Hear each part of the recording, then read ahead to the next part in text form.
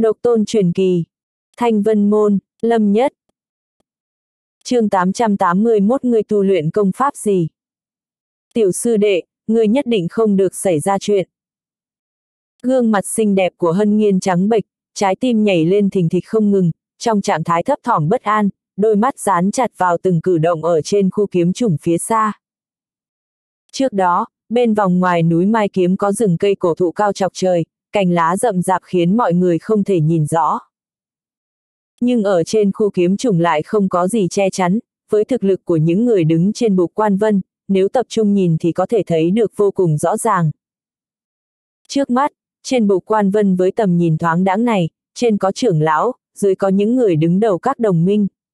Tất cả mọi người đều đứng bật dậy, tập trung tinh thần, nơi mà ánh mắt bọn họ dồn về là chung một hướng. Trên khu kiếm trùng trống trải, nơi ngọn lửa đang hừng hực cháy, thần sắc lâm nhất bình tĩnh, không vui không buồn. Trong ánh lửa ngập trời, một luồng khí tức dũng mãnh đâm xuyên qua ngọn lửa, đó chính là một quyền hỗn nguyên vô cực của Giang Phong đang giết đến.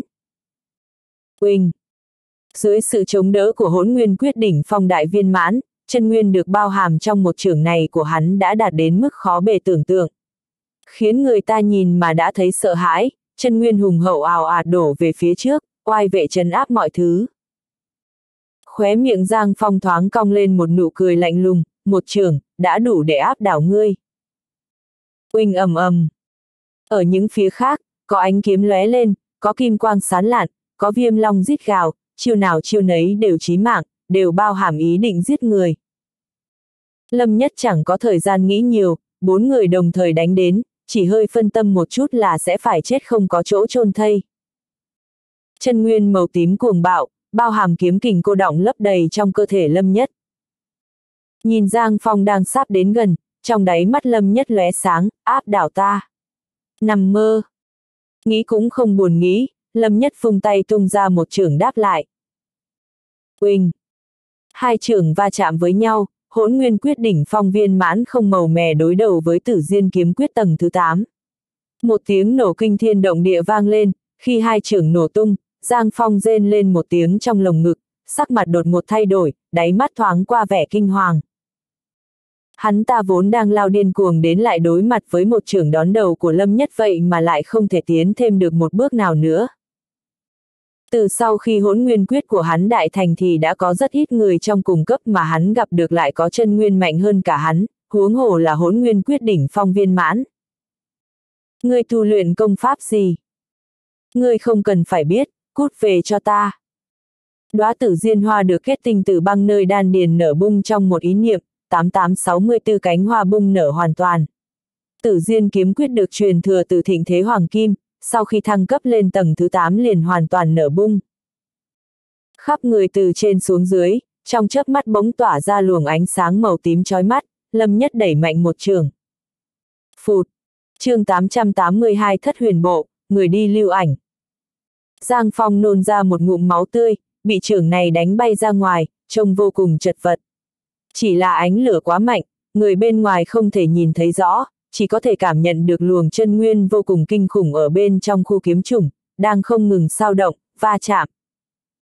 Không kịp nghỉ lấy hơi, Giang Phong vừa mới bị đánh văng ra thì một luồng kim quang xé rách tầng lửa hừng hực giết thẳng về phía hắn. Diệp Tu vận chuyển kim thân quyết đến mức giới hạn, làn da khắp người đều biến thành một màu vàng chói lóa. Giống như một chiếc chuông cổ rung lên, tạo nên từng đợt sóng âm đâm thẳng về phía Lâm Nhất. Long tượng chiến thể quyết. Lâm Nhất không dám sơ ý, hắn hét lên một tiếng, khắp người từ trên xuống dưới được bao phủ bởi một tầng sức mạnh long tượng cổ xưa, nghênh đón đòn tấn công này. Keng!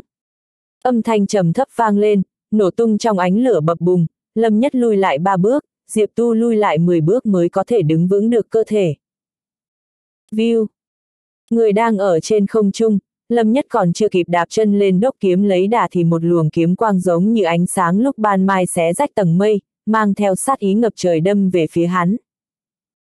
Một con viêm long ngừng tụ ngay trên vai phải của thường hạo, cất tiếng gầm phẫn nộ, âm thanh nổ lốp bốp liên miên.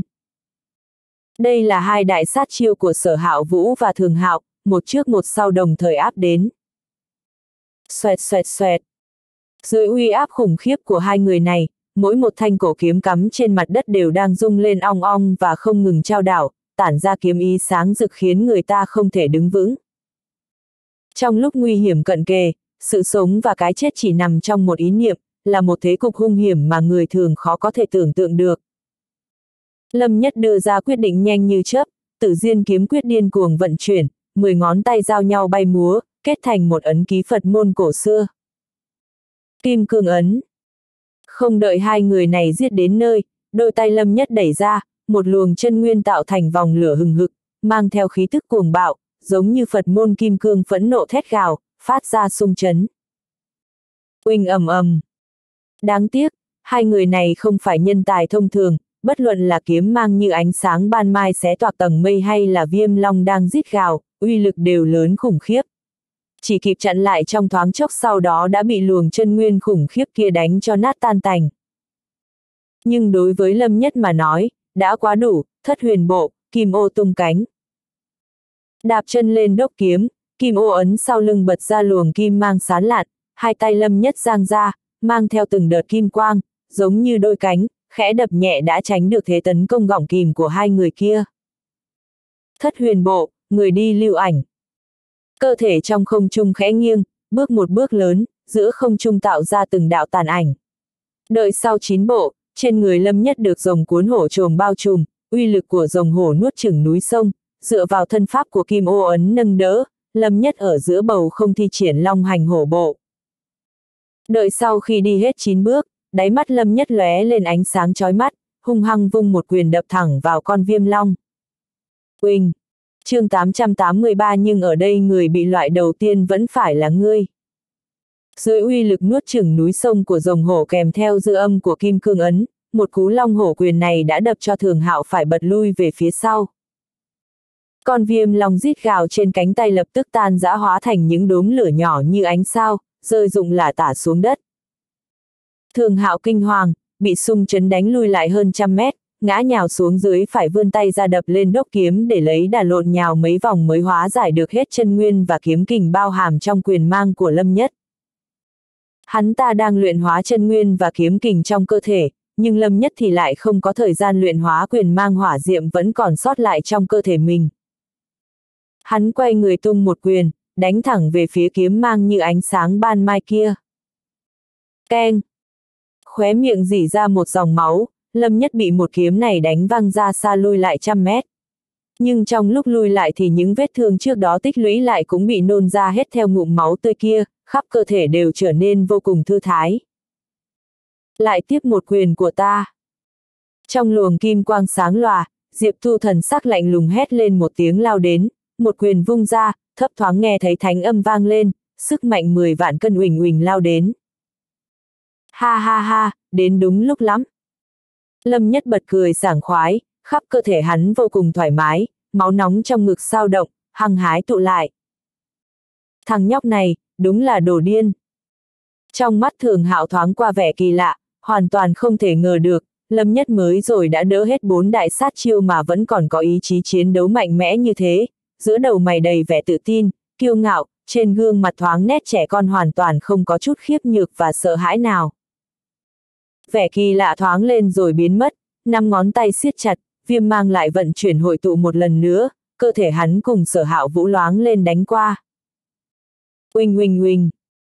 Nơi diễn ra trận đại chiến, trong ngọn lửa hừng hực thiêu đốt, bốn người đang giao đấu kịch liệt, dường như chưa có ai rơi xuống. Trong dư âm chân nguyên hội tụ rồi phát tán ra, ngược lại còn khiến cho ngọn lửa bên dưới càng cháy càng mạnh. Chẳng bao lâu sau, ba người bao vây tấn công Lâm Nhất, tung ra không dưới mấy chục chiêu. Chiêu nào chiêu nấy chí mạng, không hề lưu tình, Lâm Nhất dựa vào thân pháp sau khi kích hoạt kim ô ấn đối đầu với ba người. Thỉnh thoảng ra đòn phản kích cũng như sấm chớp, khiến bọn họ đều không dám phân tâm lơ là.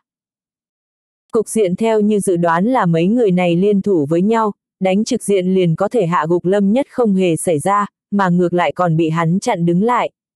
Mặc dù trông thì có vẻ chật vật nhưng quyết tâm giành từng tấc đất, có thù tất báo của hắn cũng khiến mấy người kia khó chịu không kém. Quỳnh! Lại sau 10 chiêu, mấy người đều đạp lên trên đốc kiếm, cơ thể lảo đảo theo đà thân kiếm lắc lư.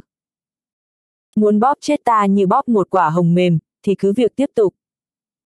Đôi mắt sâu thẳm của Lâm Nhất thoáng qua phong mang băng lạnh, nổi giận nhìn ba người. Sau mấy lần giao đấu, ba người sở hạo vũ, thường hạo và Diệp Tu đều đã thấu hiểu một cách sâu sắc Lâm Nhất không hề dễ đối phó, trên người bọn họ hoặc ít hoặc nhiều đều đã bị thương chính là minh chứng rõ ràng nhất. Nhưng ở đây người bị loại đầu tiên vẫn phải là ngươi. chương 884 đợi đã. Không hề báo trước, một cái bóng đột ngột xuất hiện ngay sau lưng Lâm Nhất, trường kiếm tuốt ra khỏi vỏ. Kiếm thân băng lạnh mang theo kiếm mang tàn bạo và sắc bén chém về phía Lâm Nhất. Là Giang Phong. Người đứng hạng ba trong bảng nhân, người đầu tiên bị Lâm Nhất đánh bay, sau một đòn tấn công bất thành bèn ẩn nấp ở một chỗ chờ đợi thời cơ. Thủ đoạn đánh lén giống hệt như lúc trước với sở hạo vũ, thậm chí còn âm hiểm hơn. Một kiếm tích lũy khí thế chờ đợi thời cơ, rõ ràng là đã có âm mưu từ trước. Lấy sức mạnh của hỗn nguyên quyết đỉnh phong viên mãn, một kiếm này nếu đâm trúng lâm nhất thì chắc chắn hắn sẽ bị phế ngay tại trận, nếu không chết thì cũng phải trọng thương. Muốn chết. Trong mắt lâm nhất thoáng nổi cơn giận lôi đình, trong tiếng quát điên cuồng, cơ thể đứng trên đốc kiếm đột nhiên trở nên mông lung. Trong luồng khí của Giang Phong khóa chặt lên người lâm nhất, bỗng nhiên giật mình cảm nhận được hắn ta không thể bắt được chân thân của lâm nhất. Thất huyền bộ, huyền ảnh mê tung, như nhật tại thiên. Trong một vùng ảo ảnh mông lung, luồng kim quang như ánh mặt trời trói lòa bay lên, lâm nhất như vầng mặt trời trói trang bật lên không trung, bay thẳng lên trời. Một kiếm tất sát lại chém hụt, trái tim Giang Phong ngay lập tức hững một nhịp rồi trầm xuống. Chết! Không cho hắn ta có cơ hội bỏ trốn, lâm nhật như ánh mặt trời giáng xuống, lật người tung một quyền trúng vào ngực hắn ta. Rắc rắc! Audio điện tử võ tấn bền. Âm thanh gãy nát của xương sườn vang lên, trước ngực Giang Phong xuất hiện một hố máu to như cái bát, người giống như bao cát bị đấm bay, tắt thở ngay lập tức. Hồng hộc. Trong mắt của những người bên ngoài, trên khu kiếm trùng, bên trong ngọn lửa hừng hực, bỗng nhiên bay ra một người, nhất thời tất cả mọi người kinh hãi hô lên. Có người bị loại rồi. Ha ha ha, lạc lão quỷ còn có gì để mà nói nữa không? Nhìn thấy bóng người bay ra, trong lòng Bạch Đình vui như phát điên, đến lông mày cũng nhướn cả lên, ngay lập tức xoay đầu lại nhìn về phía Lạc Phong. Chết rồi! Sắc mặt Lạc Phong xám ngoét như cho tàn, bóng người bay ra bên dưới kia rõ ràng đã không còn chút sinh khí nào, đã chết đến không thể chết hơn được nữa. Đợi đã! Khi có một bóng người mất hết sinh khí bay ra từ trong ánh lửa, bốn phía xung quanh đều giật mình kinh hãi. Bất kể là ai, nhưng có thể chắc chắn rằng người này quả thực đã chết rồi. Nghĩ đến tình cảnh Lâm Nhất bị bốn người vây giết trước khi ánh lửa bùng lên che khuất, trong một thoáng, dường như tất cả mọi người đều bất giác cho rằng người chết chính là Lâm Nhất. Đến cả Lạc Phong giám sát cuộc chiến đồng minh bên dưới lôi vân cũng không ngoại lệ. Trên bục quan vân ở phía xa, tĩnh lặng qua đi, không biết là ai nói một câu lâm nhất chết rồi làm bốn phía xung quanh ảo ảo hô lên. chương 885 hình như không phải lâm nhất thật. Nếu như là người thường, chết thì thôi, trong cuộc chiến đồng minh trăm năm có một này đã có quá nhiều người chết rồi. Nhưng lâm nhất lại khác, trước cuộc chiến đồng minh hắn đã khiến chuông cổ nghìn năm kia kêu vang khắp trời, ngày sau ắt sẽ trở thành yêu nghiệt. Sau cuộc chiến đồng minh, cả một đường chém giết, thể hiện tiềm lực khủng khiếp. Đến cuộc chiến cuối cùng, trong năm người hắn là trẻ nhất, chẳng qua mới 17 tuổi mà thôi, tiền đồ còn rất sán lạn. Tuổi tác như vậy, thanh xuân mơn mởn mà đã mất đi rồi, quả là khiến người ta sinh lòng tiếc nuối. Rất nhiều người nghĩ đến hắn sẽ thua, nhưng không ai ngờ đến hắn sẽ chết trong cuộc chiến đồng minh. Ha ha ha, cái đồ chó con này cuối cùng cũng chết rồi. Vương diễm của liên minh quân tử thoáng vẻ sung sướng trong đáy mắt, gương mặt vặn vẹo trông có chút điên cuồng. Lâm nhất chính là cái rằm trong tim hắn ta, từ sau khi hắn bị ba đao sáu lỗ thì sự thù hận trong hắn đối với Lâm nhất đã lên đến mức trước giờ chưa từng có. Cho nên hắn một lòng muốn Lâm nhất phải chết, không tiếc bất kỳ giá nào, từ việc bỏ nhiều tiền để đưa ra lệnh truy nã đã có thể thấy được. Đến nay, Lâm nhất sốt cuộc cũng chết rồi, hắn làm sao mà không vui mừng cho được. Không. Nơi tất cả mọi người của Lạc Già Sơn tập trung, hân nghiên hét lên thất thanh, trong ánh mắt kinh ngạc của tất cả mọi người, từ trên bục cao vạn trượng tung người nhảy xuống, khiến tất cả mọi người sợ hết cả hồn. Hân nghiên sư tỷ Nhóm người mặc thành kinh hoàng biến sắc, đây là vách đá cao vạn trượng, cho dù có là tu vi cảnh giới huyền võ mà nhảy xuống thì cũng không dễ chịu phải không? Cảnh tượng này khiến cho tất cả mọi người ngạc nhiên hết sức, đến cả mặt của Mai hộ pháp ở trên bục cao chấn thủ cũng khẽ biến sắc, lắc lắc đầu. Duy chỉ có vương diễm sau cơn thẳng thốt thì niềm vui sung sướng trong lòng lại càng nhiều thêm, nghiến răng nghiến lợi nói, ta từng nói, sẽ khiến ngươi phải hối hận. Vương sư huynh, hình như không đúng, ta nhớ trên lưng lâm nhất có đeo một kiếm hạp. Lãnh mạc bên cạnh như nhớ đến cái gì, nhỏ giọng nói. Không phải lâm nhất. Sắc mặt vương diễm lập tức thay đổi, nhưng ngay sau đó bật cười nói, bốn người liên thủ vây giết, hắn không chết thì còn có thể là ai? Chẳng lẽ ngươi cho rằng, bốn người bọn họ liên thủ mà còn không giết được một người không bằng? Nhưng trên bục quan vân, tất cả các trưởng lão đã bắt đầu lầm bầm nói chuyện với nhau. Hình như không phải lâm nhất thật. Hồng lão, ông có nhìn rõ không? Nhanh quá, còn chưa kịp nhìn rõ thì đã rơi vào trong biển lửa rồi, chỉ nhìn thoáng qua thôi, nhưng thực sự là không giống lâm nhất ta thấy có chút giống với Giang Phong. Tốc độ nhanh quá, nhóm đệ tử nhìn không được rõ, nhưng thực lực của các trưởng lão đều ở cảnh giới tử phủ. Nơi mà mắt có thể nhìn thấy, cho dù chỉ là thoáng qua thì cũng có thể nhìn được đại khái. Chỉ là nghĩ đến cảnh tượng lúc trước bốn người vây giết Lâm Nhất thì bất giác cho rằng người chết là Lâm Nhất. chương 886 ta nói ông bị mù. Sau khi bình tĩnh lại thì cảm nhận được có điều gì đó không ổn, tiếng bàn tán trên bục quan vân chợt nhiều hơn. Không lâu sau, đầu đầu cũng bắt đầu xì xào bàn tán với nhau rốt cuộc người chết có phải là Lâm Nhất không? Đến Vương Diễm luôn khẳng định chắc chắn là Lâm Nhất cũng hơi thay đổi sắc mặt, đệ tử của Liên minh quân tử cũng cảm nhận được bầu không khí kỳ lạ nên không dám nói thêm gì nữa. Chỉ là thi thoảng họ lại liếc nhìn Vương Diễm, trong lòng hơi khiếp sợ. Nếu không phải lâm nhất thì biểu hiện vừa rồi của vương sư huynh uổng phí rồi, không biết huynh ấy sẽ có tâm trạng thế nào. Dầm. Hân nghiên nhảy xuống bục quan vân, lau vết máu bên khóe miệng, đưa mắt nhìn về hướng kiếm trùng. Hân nghiên tiểu hữu không sao là tốt rồi. Một con kiếm điêu từ trong rừng bay xuống, trưởng lão trên lưng kiếm điêu thấy hân nghiên thì thở phào nhẹ nhõm. Hân nghiên lo lắng nói, xin trưởng lão cho ta mượn kiếm điêu một chút. Ừ, đây. Trưởng lão không nhiều lời, chỉ lắc đầu thở dài rồi cho cô ta mượn kiếm điêu. Đa tạ.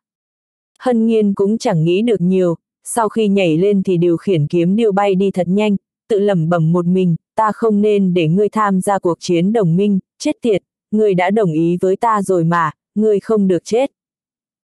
Cô ta hoảng loạn, đôi mắt ươn ướt, nước mắt vô thức tuôn rơi. Dưới lôi vân, Lạc Phong đứng trên kiếm điều đã rời tầm mắt, như chút được gánh nặng, ông thở ra một hơi rồi cười bảo, bạch lão quỷ, lần sau muốn chào phúng ta thì nhìn cho rõ rồi hãy nói nhé.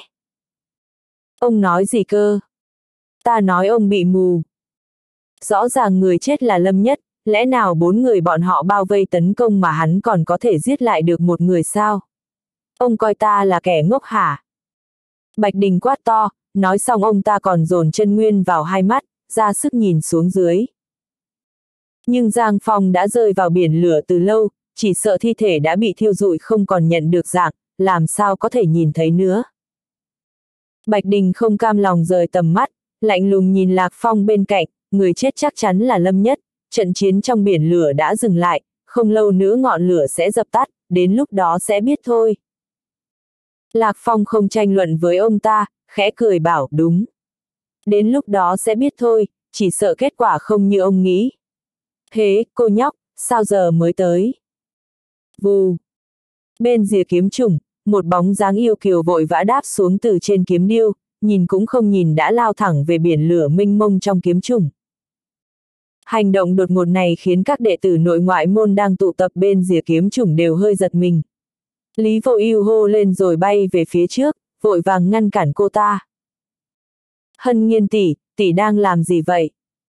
Hân nghiên nhìn thấy Lý vô ưu thì nghẹn ngào, cho dù tiểu sư đệ không còn nữa thì cũng phải nhặt xác đệ ấy về, không thể để đệ ấy chết không toàn thây được. chương 887 có thể gửi gắm hy vọng. Lý vô ưu nghe vậy thì không biết nên khóc hay nên cười, sư tỷ à, lâm sư huynh không sao, người chết là Giang Phong, hạng ba bảng nhân. Hân nghiên sư tỷ, người chết đúng là Giang Phong. Phía Lâm Thu Sam và Lâm Yên bước tới, trong mắt ai cũng mang vẻ ngạc nhiên. Thật khó tưởng tượng hân nghiên sư tỷ hoa hồng máu mà ngày thường ai cũng kính nể lại có một mặt yếu đuối này. Hình như huyết linh quỷ hỏa dập rồi kìa, hân nghiên sư tỷ, tỷ nhìn thử xem. Mấy người nhìn sang thì thấy huyết linh quỷ hỏa bùng cháy hừng hực như vũ bảo trên kiếm chủng đã dần lắng xuống theo trận chiến kết thúc. Một lúc sau, trên kiếm chủng rộng rãi có bốn người xuất hiện trong tầm mắt mọi người. Lâm nhất của Lạc Già Sơn với chiếc áo màu xanh, lưng đeo hộp đựng kiếm, khuôn mặt điển trai, sắc mặt tái nhợt nhưng ánh mắt lại kiên định. Là đệ ấy. Hân nghiên đặt tay lên ngực, mừng rớt nước mắt. Sao có thể như thế được? Dưới lôi vân, Bạch Đình nhìn thấy bóng dáng Lâm Nhất thì kích động vô cùng, loạn choạng suýt ngã. Lâm Nhất không chết, người chết là Giang Phong, kẻ đã bộc lộ bản tính đê hèn thích đánh lén người khác. Thật sự là Lâm Nhất. Bốn người bọn họ liên thủ tấn công chẳng những hắn không chết, mà còn giết được một người, đúng là yêu nghiệt mà. Trăm năm nay ở lăng tiêu kiếm các cũng chỉ Bạch Lê Hiên mới có thể so sánh được với hắn thôi. Thiếu niên này thật không đơn giản, khó có thể tưởng tượng được hắn chỉ mới 17 tuổi. Hàng vạn người trên bục quan vân thốt lên, tiếng bàn tán nhau nhỏ giờ đã hoàn toàn sục sôi. Mặt vương diễm xám như cho, trên mặt không có một tia tức giận nào, khoái cảm trước đó không còn nữa, thay vào đó là chua xót vô tận. Chết tiệt, sao lại thế này? Một lúc sau, trong mắt hắn ta hiện lên vẻ tàn nhẫn, có chút điên cuồng, dường như đã hạ quyết tâm. Mai hộ pháp khẽ mỉm cười, trong mắt là vẻ ngợi khen, tuy ông đã nhìn ra được người chết là Giang Phong từ lâu, nhưng tận mắt nhìn thấy dáng vẻ tự hào đứng trên kiếm chủng của Lâm Nhất, sánh ngang với ba người khác thì trong lòng ông vẫn thấy khá kích động. Tiểu tử này được lắm. Có thể gửi gắm hy vọng. Trưởng lão chấp kiếm ở hai bên trái phải cùng điện chủ các điện đều gật đầu, không giấu được vẻ khen ngợi. Một người mà mọi người đều công nhận là quả hồng mềm lại có thể lật ngược tình thế, không chỉ đàn áp bốn người bao vây tấn công mình mà thậm chí còn giết được một người. Tuy ánh lửa che khuất nhưng những người đứng đầu tông môn đều có thể tưởng tượng được cuộc đối đầu lúc đó chấn động lòng người đến mức nào. Trên kiếm chủng có bốn người đơn độc, người ai cũng có vết thương, sắc mặt đều không được tốt lắm. Nhìn kỹ hơn thì thấy vết thương của Lâm Nhất còn nghiêm trọng hơn ba người còn lại, nhưng ánh mắt ba người phía thường hạo nhìn hắn lại đầy vẻ rè chừng, sợ hãi. Sở hạo vũ không biết đã cất kiếm vào vỏ từ lúc nào, trong đôi mắt hắn ta cũng có vẻ nặng nề hiếm thấy. chương 888 thất huyền bộ, kim ô tung cánh. Bầu không khí u ám lan khắp kiếm trùng, bốn người đứng trên bốn chuôi kiếm, đôi mắt rực lên ý chiến đấu. Chân nguyên trong cơ thể lặng lẽ vận hành, chậm rãi tập trung khí thế của mình rồi âm thầm dâng lên. Không khí trong kiếm trùng hơi đặc lại khiến người ta cảm thấy khó thở. Trận chiến này, sau cái chết của Giang Phong, không còn ai dám sơ ý nữa. Mọi người đều nhìn ra được sự tĩnh lặng hiện tại chỉ là bình yên trước sông bão, bầu không khí lặng lẽ đông đặc. Vút! Đột nhiên một đạo kinh hồng mang theo tiếng xé toạc không khí chói tai vụt qua từ trên bục quan vân. Bùm! Kinh hồng trong nháy mắt tới nơi, đáp xuống chính giữa bốn người, giấy lên làn sóng cuồn cuộn khiến toàn bộ kiếm chủng đều rung lên. Đó là một lá cờ chiến cổ đã hoen dỉ và được lạc ấn linh văn bí ẩn, chứa đầy sự lạnh lẽo âm u, lá cờ rách được thêu văn vân huyết diễm. Đây là... Khi mấy người còn đang ngơ ngác thì giọng nói ung dung của Mai hộ pháp trên bục quan vân truyền đến. Đây là bảo khí chiến kỳ xích diễm thượng phẩm, phần thưởng dành cho hạng nhất cuộc chiến đồng minh. Ồ! Lời vừa dứt, huyết linh quỷ hỏa leo lên cột cờ, đốt cháy cờ chiến. Linh vân lạc ấn trên cột cờ lập tức lấp lánh rực rỡ, ngọn cờ đang cháy đung đưa như con chim chu tước, tản ra một luồng uy áp mạnh mẽ. Bốn người ở kiếm chủng đều giật mình. Bảo khí. Hạng nhất cuộc chiến đồng minh sẽ có được lá cờ này, nghĩa là ai giành được cờ chiến thì người đó chính là hạng nhất cuộc chiến đồng minh sao. Mấy người đều nhìn chằm chằm cờ chiến với ánh mắt nóng rực. Ý chí chiến đấu bị đè nén trong lòng không thể áp chế được nữa. Keng! Bốn tiếng kiếm ngân gần như vang lên cùng lúc từ trong cơ thể bốn người, kiếm ý cuồng bạo quét ra tứ phía, thổi bay luồng khí cô đặc khiến vạn kiếm đều rung lên. ầm, um. Kiếm ý cường hãn từ trong cơ thể bốn người lan ra khiến cho tất cả trường kiếm trong kiếm chủng đều rung lên. Giữa ngọn lửa rực cháy, từng kiếm cổ có chứa ý chí của các bậc tiền bối trong kiếm các không ngừng rung lên, tiếng kiếm ngân vang vọng khắp đất trời. Thất huyền bộ, kim ô tung cánh. Ba vân bộ, đi trên mặt nước không vĩnh cửu. Tinh hỏa quyết, thất tinh hoán vị. Kim thân quyết, lưu quang điện ảnh. chương 889 Kim quang bất diệt. Kim ô ấn được kích hoạt, Lâm Nhất Giang hai tay phóng ra từng đợt ánh sáng vàng lên không trung như đôi cánh. Sở hạo vũ nhón nhẹ mũi chân, vùng đất bằng phẳng gợn sóng lăn tăn, để lại những dư ảnh trong không trung. Trên người thường hạo ngập tràn lửa cháy, từng ánh sao nở rộ, cơ thể biến mất trong không trung một cách kỳ lạ. Toàn thân Diệp Tu được bao phủ bởi ánh sáng vàng, giống như có luồng lôi đình điện quang phóng ra. Bốn người đều đã vận dụng chân nguyên đến mức cực độ, thể hiện ra tuyệt kỹ của mình, bay vụt về phía chiến kỳ xích diễm được ngọn lửa bao quanh kia. Thân pháp cường hãn khiến tất cả khán giả đều sáng mắt, nhưng cuối cùng vẫn là thất huyền bộ của Lâm Nhất có năng lực vượt trội hơn một chút, hắn tung người giành được chiến kỳ xích diễm đầu tiên. Sau khi được truyền thừa thất huyền bộ trục nhật thần quyết thượng cổ, rồi lại ngưng luyện ra kim ô ấn, trong những người cùng cấp không ai có thể thắng được hắn về mặt thân pháp. Nhưng tốc độ của ba người kia cũng không chậm hơn bao nhiêu. Gần như ngay lúc hắn nắm lấy chiến kỳ xích diễm thì sở hạo vũ, thường hạo và Diệp Tu cũng tới nơi, đưa tay nắm lấy cờ chiến. Cảm nhận được nhiệt độ nóng rực trên chiến kỳ xích diễm, lâm nhất rút mạnh. Chiến kỳ xích diễm tung bay trong không trung, để lại một làn lửa khói, ba người còn lại bắt hụt vào không khí. Keng! Ánh sáng lạnh lẽo lóe trên mắt ba người, ba thanh trường kiếm đồng thời được rút ra, ý chí chiến đấu trên người tăng vọt. Phong khởi vân dũng. Liệt nhật viêm viêm. Kim quang bất diệt. Ba người không chút do dự, ý chí chiến đấu ngút trời, ba đại sát chiêu đồng thời được tế ra, bao phủ bầu trời áp đảo về phía lâm nhất. Kiếm ý của sở hạo vũ diễn hóa ra biển mây vô tận, trong biển mây cuồn cuộn, một đạo kỳ phong đột nhiên nổi lên nhanh như chớp. Kỳ phong như kiếm, đâm thủng biển mây, mang theo kiếm ý rồi rào hùng hậu, tựa như lôi điện ập tới. Kinh vân kiếm pháp viên mãn đỉnh phong trong tay sở hạo vũ xuất thần nhập hóa, muốn làm sao thì được thế đó. Vừa ra tay đã khiến người ta cảm nhận được khí thế dồi dào, hùng hổ bức người. Bên kia, Thường Hạo và Diệp Tu đều không phải đèn cạn dầu. Kiếm của Thường Hạo rực cháy hừng hực, tựa như ánh mặt trời rực rỡ trong tay hắn ta, cuồn cuộn trấn áp tới. Toàn thân Diệp Tu được bao phủ bởi hàng trăm kiếm quang màu vàng, tia chớp lóe lên liên tục khiến người ta khó phân biệt thật giả, nhưng mỗi đạo kiếm quang đều ẩn chứa sát ý cực mạnh. chương 890 Kim Cương Phục Ma Ấn Bốn phía đều có tiếng hô kinh ngạc, không ai có thể ngờ rằng lúc trước ba người phía sở hạo vũ vẫn chưa dốc hết toàn lực. Sau khi chiến kỳ xích diễm bị lâm nhất cướp mất, ba người không còn giấu tuyệt chiêu nữa, ba đại kiếm chiêu đồng thời được gọi ra. Từng thanh cổ kiếm rực cháy trong kiếm chủng trống trải không ngừng rung lên, đến mặt đất cũng rung chuyển dữ dội. Từng thanh cổ kiếm điên cuồng rung lên, dường như có thể bay lên bất cứ lúc nào. Thật đáng sợ.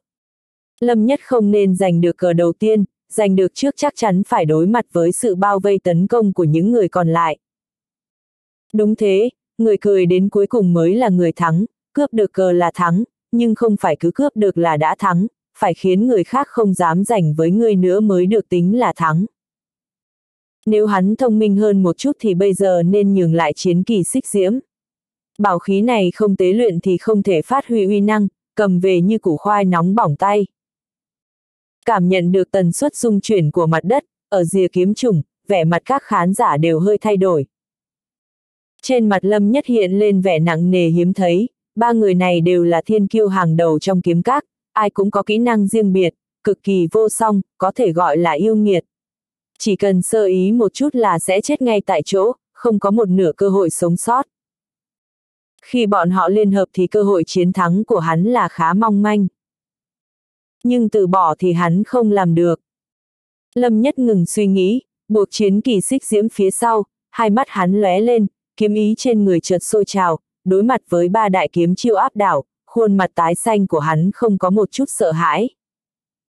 Trong lòng hắn tràn đầy nhiệt huyết, lòng tự hào dâng trào, không biết sợ hãi, trong tình huống không ai ngờ tới, hắn bay vọt lên không trung, chủ động lao tới.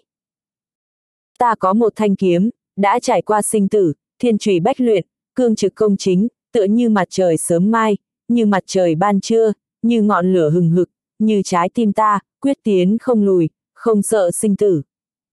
Bất diệt kim cương ấn, dùng kiếm phục ma, kim cương phục ma ấn. Lâm nhất chắp tay, dùng kiếm ý rồi rào trên người tế ra kim cương phục ma ấn. Ào! Ánh sáng màu vàng rực rỡ sau lưng hắn, kiếm ý vô tận ngưng tụ thành một thanh kiếm khổng lồ 10 trượng với ánh sáng tím chói mắt, tựa như thanh kiếm khổng lồ thực chất, tản ánh sáng ra bốn phía, kiếm khí phóng thẳng lên trời ẩn chứa bá khí của vương giả. Ta không phải kim cương, cũng không phải Phật, nhưng một kiếm của ta không sợ sinh tử, không sợ quần ma, ta dựa vào kiếm của ta phục ma diệt yêu. Kim cương phục ma ấn. Đây mới là kim cương phục ma ấn chân chính sao.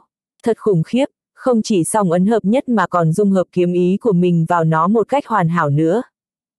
chương 891 Long hổ quyền của hắn đúng là khó tin, hoàn toàn không nhìn ra dấu vết nào của Phật môn. Dưới sự chú ý của mọi người, lâm nhất song ấn hợp nhất, tế ra thanh kiếm khổng lồ 10 trượng nghênh đón ba đại sát chiêu. Quang mang rực rỡ, rồng gầm hổ thét, chân nguyên cuồng bạo trên người diễn hóa thành phục ma kiếm uy, bùng nổ theo một kiếm này. Quyền mang như núi, phục ma diệt tà, tiến về phía trước không sợ sinh tử. Phá! Lâm nhất hét lên một cách điên cuồng, khi kỳ phong do kiếm mang của sở hạo vũ diễn hóa ra ập tới thì một tiếng động kinh thiên động địa vang lên, kéo dài liên tục. Cả kiếm trùng bắt đầu rung chuyển kịch liệt, trong chốc lát, cô đỉnh của sở hạo vũ nổ tung vỡ vụn, sắc mặt hắn ta tái nhợt, liên tục lui về phía sau. ầm ầm ầm, giữa không trung, động tác của Lâm Nhất không hề dừng lại, khí huyết trên người sôi trào như biển, tiếng xương cốt vang lên răng rắc, long tượng chiến thể quyết được hắn đẩy đến cực hạn. Thân hình hơi gầy to lên một vòng rõ ràng giống như dã thú thượng cổ, nóng nảy vô cùng, trong mắt hắn đầy vẻ hoang dã. Long phi hổ khiêu, tay trái hóa rồng, tay phải hóa hổ, lâm nhất một lần nữa sử dụng phá không ấn để gia trì, lần lượt chống lại kiếm của Diệp Tu và Thường Hạo. Bùm! Thường Hạo bị tay phải thi triển sức mạnh của hổ nhảy qua sông núi đẩy lùi, rên lên một tiếng rồi lùi về sau mấy bước, trong mắt hiện lên vẻ kinh ngạc không che giấu được. Uy lực của tay trái hơi yếu, Diệp Tu xông lên nhưng không bị lùi lại bước nào. Nhưng hắn ta vừa định tiến lên thì thấy Lâm Nhất giang hai tay, trầm giọng quát, Diệp Tu, nhận thêm một quyền của Lâm Nhất ta gì. Quyền này là họa long điểm tinh. Khí tức hỗn độn như mực ngưng tụ quanh người Lâm Nhất, tựa như có ma lực, dâng lên ngọn lửa ngút trời. Sợ là ngươi không được như ý muốn đâu.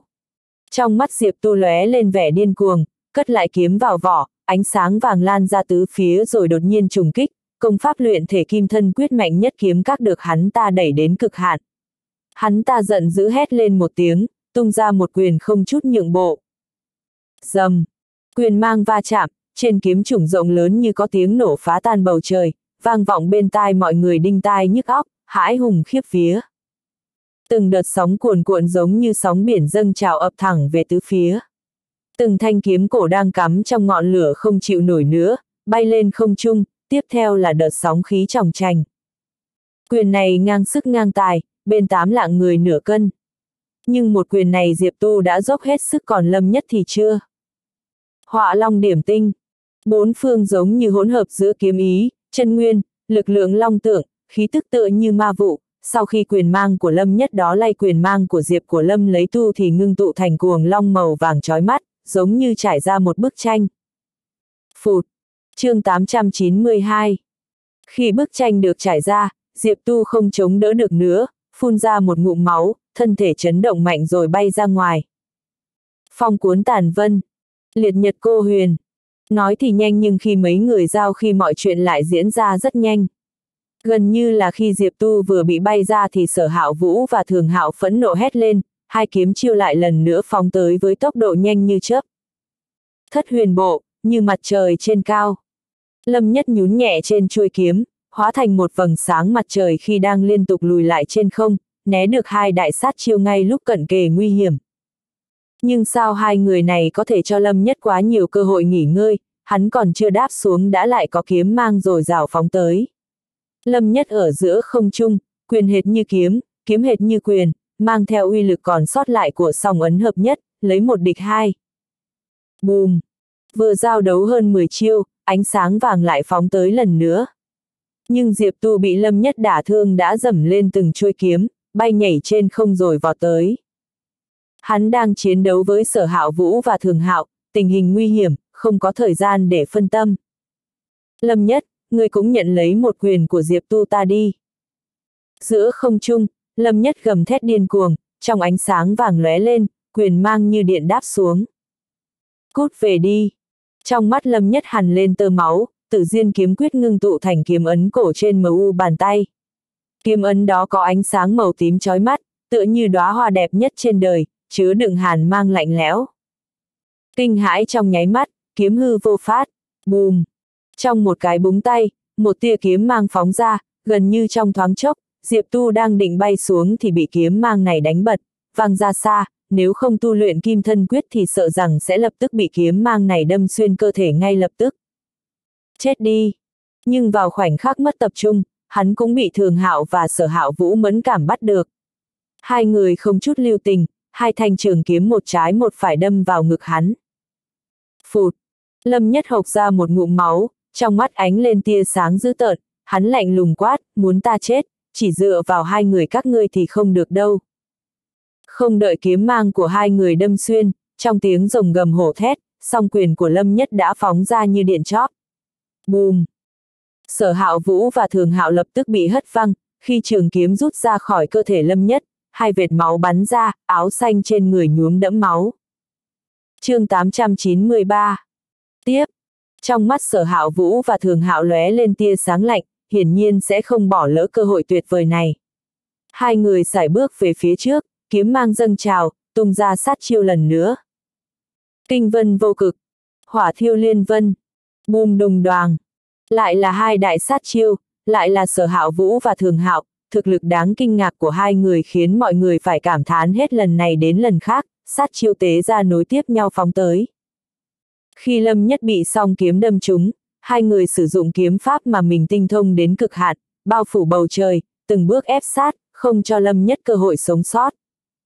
Lâm Nhất họ ra máu, vẻ quật cường ngoan cổ hiện lên trên khuôn mặt tái nhợt. Bịch, mũi chân hắn nhún mạnh trên chuôi kiếm, cả người xoay tròn trong không trung, đối mặt với hai đại sát chiêu đang tới gần, hắn không ngừng kéo dài khoảng cách. Khi Lâm Nhất đáp xuống lần nữa, hắn đưa tay nắm chặt kiếm táng hoa đang bay ra khỏi hộp đựng kiếm. Một cảm giác huyết mạch gắn liền với sinh tử chạy thẳng vào tim. Vụt! Lâm Nhất rút kiếm, thanh âm du dương vang vọng khắp sơn cốc, nghênh đón hai đại sát chiêu. Thân kiếm rực rỡ trói mắt, kiếm vang lên không dứt, vô số cánh hoa huyết tường vi như mộng như ảo, nhẹ nhàng bay khắp bầu trời. Hoa không phải hoa, sương mù không phải sương mù. Giữa những cánh hoa tung bay, bóng dáng lâm nhất mờ đi trong mắt mọi người, mịt mờ mông lung, khó có thể phân biệt thật giả. Trong mắt sở hạo vũ và thường hạo thoáng qua vẻ kinh ngạc, nhưng sau đó lại cười khẩy. Lâm nhất không còn đường lui, cho dù không thể phong tỏa khí cơ thì với thân thể bị thương của hắn, chỉ dựa vào dư âm, bọn họ cũng đã đủ đánh hắn trọng thương. Hắn không trốn được, chỉ có thể đỡ, nhưng không thể phá được sát chiêu mạnh nhất của hai người, vẫn là đường cụt, không còn lựa chọn nào khác. Một kiếm quét ngang bốn phương, một kiếm chém dọc tám hướng, một kiếm xuyên chín tầng mây, một kiếm chặt đứt mây trôi. Bá khí vô tận khiến thân kiếm rung lên dữ dội, ánh sáng chói mắt như mặt trời rạng rỡ, hắn gọi bá kiếm ra chống lại kinh vân vô cực của sở hạo vũ và hỏa thiêu liên vận của thường hạo. Không ai ngờ được Lâm Nhất đang trên đường tuyệt vọng vẫn có thể gọi được bá kiếm, vung ra một kiếm cực kỳ bá đạo, rực rỡ chói lóa. Dưới lôi vân, Bạch Đình đứng trên kiếm đều nhìn thấy bá kiếm được gọi ra, mí mắt giật giật liên tục. Ông ta suýt thì thốt ra tiếng chửi thề, rõ ràng đã trúng hai nhát kiếm, đứng trên con đường tuyệt lộ mà vẫn có thể đánh trả trước lúc chết, nhưng sau đó ông ta lại cười âm hiểm, bá kiếm tiểu thành có thể ngăn được kinh vân kiếm pháp viên mãn đỉnh phong chắc. chương 894 Theo sự bá khí vô tận dao động, bá kiếm được lăng tiêu kiếm các gọi là cấm thuật đã được lâm nhất tế ra, chống lại hai đại kiếm chiêu kinh người. Dù là kinh vân vô cực của sở hạo vũ hay hỏa thiêu liên vân của thường hạo đều cực kỳ đáng sợ. Đệ tử huyền võ tầng 6 bình thường cũng không chống cự được dù chỉ một lúc trước hai đại sát chiêu này. Đặc biệt là kinh vân vô cực, khi kinh vân kiếm pháp đã luyện đến viên mãn đỉnh phong, sát chiêu mạnh nhất này có thể gọi là hoàn mỹ, không tìm ra bất kỳ khuyết điểm nào. Rất nhiều trưởng lão tông môn nhìn thấy đều hoảng hốt, kinh ngạc vô cùng. Tuy lôi vân kiếm pháp của thường hạo chỉ ở cảnh giới đại thành nhưng dù sao cũng là kiếm pháp linh cấp. Lại thêm lôi vân quyết công pháp linh cấp mà hắn ta tu luyện, uy lực của một chiêu hỏa thiêu liên vẫn này cũng không thể coi thường. Trong nháy mắt, hai đại sát chiêu bên tám lạng, người nửa cân, song song với nhau phóng tới. Gió to, mây cuộn gào thét ẩm ý trên kiếm trùng khiến người ta kinh hãi. Không ai cảm thấy Lâm Nhất có thể đỡ được hai đại sát chiêu như hồng thủy ập tới khi bản thân hắn đã trúng hai nhát kiếm.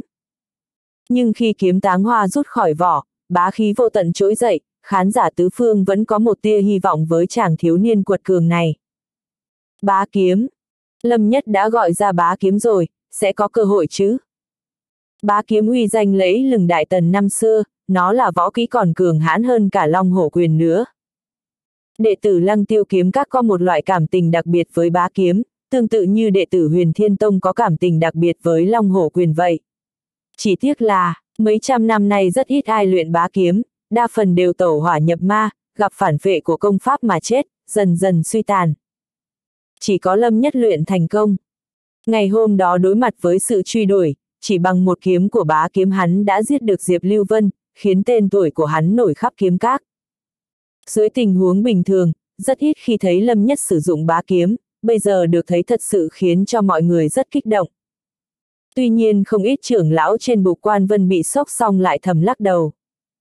Đúng là bá kiếm vô cùng mạnh, được xưng là cấm thuật của tông môn, nhưng chỉ mới ở tiểu thành thì sao có thể đỡ được kinh vân kiếm pháp viên mãn đỉnh phong.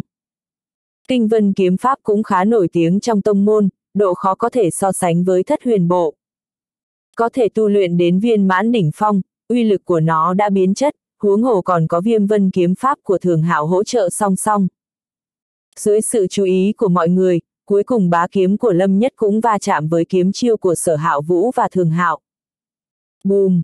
Có tiếng nổ kinh thiên động địa vang lên giữa không trung, hai đại kiếm chiêu không gì cản nổi với khí thế như hồng thủy ập tới. Trong một khắc dừng lại, dù là kinh vân vô cực hay là dị tượng hỏa thiêu liên vân đều xuất hiện vết nứt. chương 895 Khi kiếm mang sao động, ý cảnh của hai đại sát chiêu dường như có thể vỡ tan bất cứ lúc nào. Ngăn được rồi. Rất nhiều khán giả đều thẳng thốt, nhưng còn chưa kịp cảm khái thì bá khí ngưng tụ trên người lâm nhất chợt tan biến, hắn rơi xuống như quả đạn đại bác dưới tác động của hai đại kiếm chiêu. ầm, um, trong tiếng nổ lớn kinh thiên động địa, hắn nặng nề rơi vào biển lửa rực cháy của huyết linh quỷ hỏa. Mặt đất rung chuyển dữ dội, kèm theo đó là những tiếng hô ngạc nhiên. Không ngờ Lâm Nhất lại thua thảm hại như vậy trong một chiêu này, rơi thẳng vào biển lửa. Nếu không gượng dậy được thì hắn sẽ bị thiêu chết ngay tại chỗ. Hay lắm! Trên kiếm điêu, Bạch Đình cười lớn, vẻ mặt vui mừng khôn xiết, quả nhiên đúng như ta đoán, bá kiếm tiểu thành mà cũng đòi lật ngược thế cờ, đúng là vớ vẩn. Lạc Phong lạnh lùng liếc nhìn, thờ ơ nói, trận chiến này vẫn chưa kết thúc. Chưa kết thúc, cho dù tên nhóc đó không bị huyết linh quỷ hỏa thiêu chết, nhưng sau khi hắn ra được thì đỡ sát chiêu của sở hạo vũ và thường hạo kiểu gì. Đến bá kiếm còn không đỡ được, hắn còn có thể làm gì. Bạch Đình chế nhạo, ngoài chết vẫn là chết, lão phu không nghĩ ra được kết cục nào khác. Nhìn ngọn lửa cuồng bạo như sắp hoàn toàn nhấn chìm mình, Lâm Nhất đập mạnh tay xuống đất. Trước khi biển lửa dập tắt, hắn bay lên không trung, đáp xuống chuôi kiếm cổ. Dù Lâm Nhất luyện long tượng chiến thể nhưng cũng không thể ở lâu trong huyết linh quỷ hoa. Phụt! Khóe miệng Lâm Nhất trào máu, hắn đứng trên chuôi kiếm, không thay đổi được tình thế dù chỉ một chút. Sau khi bá kiếm của hắn thất bại, kinh vân vô cực của sở hạo vũ và hoa thiệu lia vô cực của sở hạo vũ và hỏa thiêu liên vân của thường hạo lại nổi lên lần nữa. Hai đại sát chiêu ập xuống, bao phủ đất trời, cuồn cuộn kéo đến, không cho hắn bất kỳ cơ hội chạy trốn nào. Không còn lối thoát. Cho dù hắn thi triển một thoáng phồn hoa hay uy lực còn sót lại của kiếm chiêu đã thất bại kia thì cũng khó giết được hai người này. Còn hắn sẽ vì chân nguyên cạn kiệt mà chết trong tay bọn họ. Nhưng phải cứ thế từ bỏ sao? Không đời nào. Hắn tự hứa với bản thân hoặc là không tranh, nếu đã tranh thì nhất định phải giành được hạng nhất. Bá kiếm, bá kiếm đại thành, chỉ có bá kiếm đại thành mới có thể xoay chuyển tình thể hiện tại. Hai đại kiếm chiêu đã đạt đến đỉnh phong, từ trên trời giáng xuống, một kiếm kinh vân vô cực, một kiếm hỏa thiêu liên vân, bất cứ một kiếm nào cũng có thể giết chết người, chưa kể bây giờ hai người còn đang bắt tay nhau. Nhưng dưới con mắt của mọi người, Lâm Nhất lại làm ra hành động không ai ngờ tới. Hắn nhắm mắt, táng hoa trở lại vỏ, như mộng như ảo, cánh hoa huyết tường vi bay quanh cơ thể hắn bỗng chốc tan biến. chương 896 Hắn điên rồi à? Bốn phía rung chấn, có rất nhiều người đang hoài nghi bản thân có phải đã hoa mắt rồi không? Mắt thấy hai đại sát chiêu, thanh uy vọt lên, lại tấn công thêm một lần nữa mà hắn thì thu kiếm vào vỏ, nhắm hai mắt lại. Điên rồi. Có rất nhiều người yên lặng lắc đầu, nếu như thực sự không địch nổi thì có thể từ bỏ quyền thi đấu, dốc sức giữ lại một cái mạng rồi ắt sẽ có một ngày bật dậy một lần nữa. Nhưng nhắm mắt chờ chết, vừa không từ bỏ, lại vừa không nghênh địch, thực sự là điên rồi. Đợi chết à, chết thế này cũng tốt, chết trong tay hai đại nhân tài yêu nghiệt cũng không uổng ngươi gia nhập kiếm các ta. Bạch Đình đứng trên kiếm điêu vuốt sâu, trên mặt lộ ra nét cười nhàn nhạt, nét cười băng lạnh tận xương, sặc mùi thù hận. Đầu mày Lạc Phong nhíu chặt, không thèm để ý đến đối phương, tầm mắt của ông ta rơi trên người lâm nhất bên dưới, dần trở nên trầm tư. Đây là ngộ kiếm sao? Nhưng làm gì có ai lại ngộ kiếm ngay trên sân đấu? Thằng nhóc này đúng là điên rồi. Lâm nhất thật sự điên rồi sao? Đương nhiên là không, vào lúc hắn luyện hóa cỏ kiếm hoàng, hắn đã cảm giác được bá kiếm của mình chỉ còn cách đại thành một nửa bước nữa thôi. Nền tảng của hắn đã tích lũy đủ từ lâu, chỉ còn thiếu một nửa bước, chỉ cần ngộ rõ được nửa bước này, bá kiếm ngay lập tức có thể đại thành. Vào giây phút hắn nhắm mắt lại, tâm hắn dối như tơ vò, nôn nóng bất an, trong đầu xuất hiện hàng nghìn hàng vạn luồng suy nghĩ, dối như tơ vò, không ngừng suy nghĩ tìm tòi làm sao để đột phá được đại thành của bá kiếm. Nhưng cảm nhận được hai đại sát chiêu đang không ngừng chém xuống, từng bước tới gần, trong lòng lâm nhất lại dần dần bình tĩnh lại. Hoặc là sống, hoặc là chết. Hoặc là để ta sống rực rỡ như đóa hoa mùa hạ, hoặc là để ta chết oanh liệt ở đây, chôn vùi trong khu kiếm chủng này, làm bạn với các vị tiền bối của kiếm các, cũng đáng giá. Trong đầu lâm nhất bỗng nhiễn xẹt qua một luồng linh quanh, là một kiếm không phải một chiêu. Một kiếm chém phủ vân, một kiếm quét vạn vật, một kiếm chạm cửu thiên, một kiếm rung động bát hoang. Nhưng một kiếm này cũng là một chiêu. Trước đó là do bị mắc trong mê chướng, không thoát được ra ngoài, cái gọi là bá kiếm chính là một chiêu. Chẳng lẽ một chiêu đâm ra, không phải chính là một kiếm sao? Mai hộ pháp, ông đào cho ta một cái hố to quá. Trong lúc suy nghĩ của hắn đang đạt đến mức giới hạn, hai đại sát chiêu cuộn theo thanh uy khủng khiếp lại nhanh như thiểm điện, bất kể hai mắt hắn đang nhắm chặt, chỉ còn cách không đến 10 mét nữa là sẽ nuốt chửng hắn vào trong. View. Thiên quân nhất, đôi mắt lâm nhất đang nhắm chặt cuối cùng cũng mở ra, đáy mắt phụt sáng lấp lánh. Trong lúc nguy hiểm cận kề, táng hoa tuốt khỏi vỏ, bá khí vô tận từ khắp cơ thể lâm nhất phóng thích ra ngoài.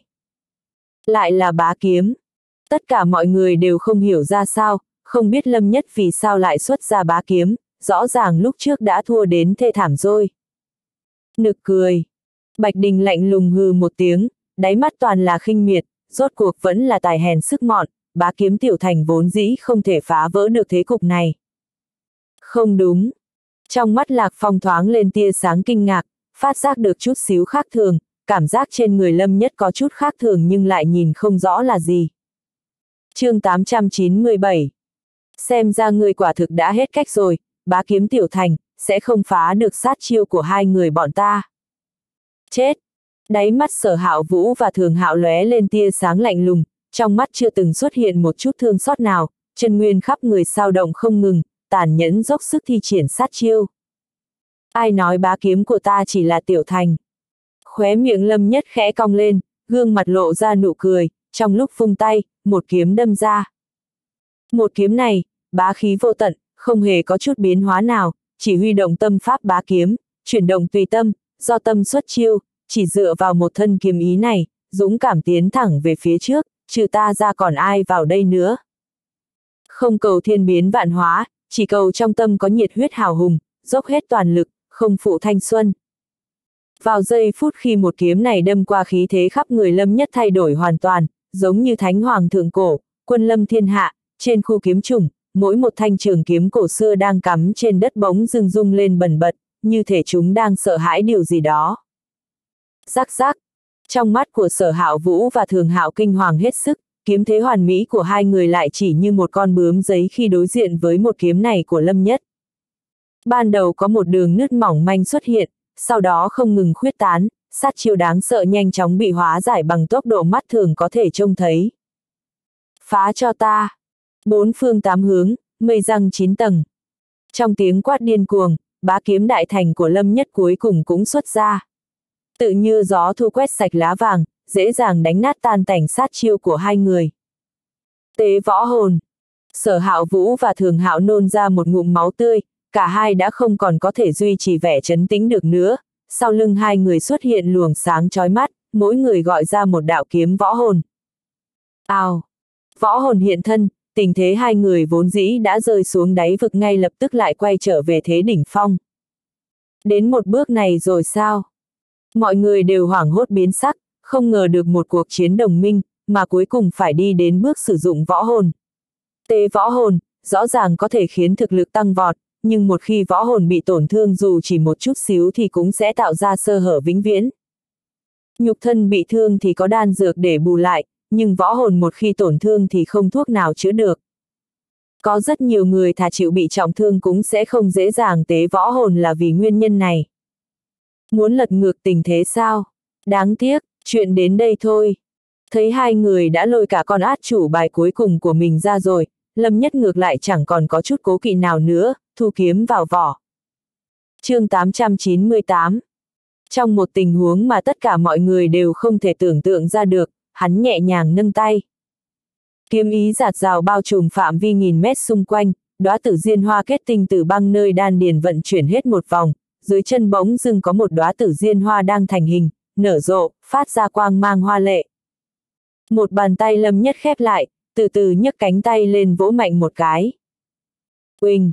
Sức mạnh khủng khiếp bắn ra từ trong lòng bàn tay hắn, huyết diễm quỷ hỏa đang thiêu đốt trong phạm vi 1.000 mét xung quanh bỗng bị nghiền nát thành bột mịn, biến mất không tâm tích. Sở hạo vũ và thường hạo vừa mới tế xong võ hồn, quay trở lại thế đỉnh phong còn chưa kịp hiểu ra chuyện gì. Đã bị một trưởng này nhẹ nhàng ấn xuống, hai luồng kiếm võ hồn nát vụn trong chớp mắt, nôn ra máu tươi ngất xỉu ngay tại trận. Trời đất tĩnh lặng, cảnh tượng bốn phía kinh hãi vô cùng, tất cả mọi người đều nhìn về người thiếu niên áo xanh thân hình mảnh rẻ, khắp người đầy máu kia với ánh mắt thay đổi hoàn toàn. Thế gian có loại kỳ hoa, hoa mọc nơi chân trời góc bể, một ý niệm phá đất nảy mầm, mọc lên tươi tốt, kết hoa, bung nở, điêu tàn. Loài hoa này sinh ra đẹp tuyệt trần mà khi tàn lại cô quạnh, nó giống hệt lâm nhất, người duy nhất còn có thể ở lại trong khu kiếm trùng. Một ý niệm hoa bung nở, diễm lệ tuyệt thế, ai có thể tranh hùng với ta. Một thoáng phồn hoa, không thì triển thì thôi, một khi thi triển, hao sạch chân nguyên, không còn đường lui. Nhưng uy lực của nó cũng đáng sợ vô cùng, chỉ một cái nhấc tay mà hai đại nhân tài yêu nghiệt đều phải quỳ xuống trước mặt lâm nhất. Thậm chí vừa mới tế kiếm hồn còn chưa kịp thi triển mà đã bị trọng thương ngất xỉu. Bên rìa kiếm trùng, Diệp Tu bị đạn chỉ thần kiếm của Lâm Nhất đánh trọng thương phải từ bỏ quyền thi đấu, lúc này hít sâu một hơi, cổ họng nuốt ực một tiếng, trong mắt thoáng qua vẻ e sợ sâu sắc. Nếu như hắn ta vẫn còn tham gia trận chiến chỉ e là kết quả của hắn ta cũng chẳng thể tốt hơn hai người kia được. Trên khu kiếm trùng rộng rãi thoáng đáng, trong phạm vi 1.000 mét xung quanh lâm nhất như thể vừa có một cơn hồng thủy quét qua, sạch bong không còn chút bụi nào, huyết linh quỷ hỏa cũng bị đánh nát bởi chiêu một thoáng phồn hoa kia. Phạm vi bên ngoài 1.000 mét, ngọn lửa vẫn cháy bập bùng như trước, vẫn không ngừng thiêu đốt.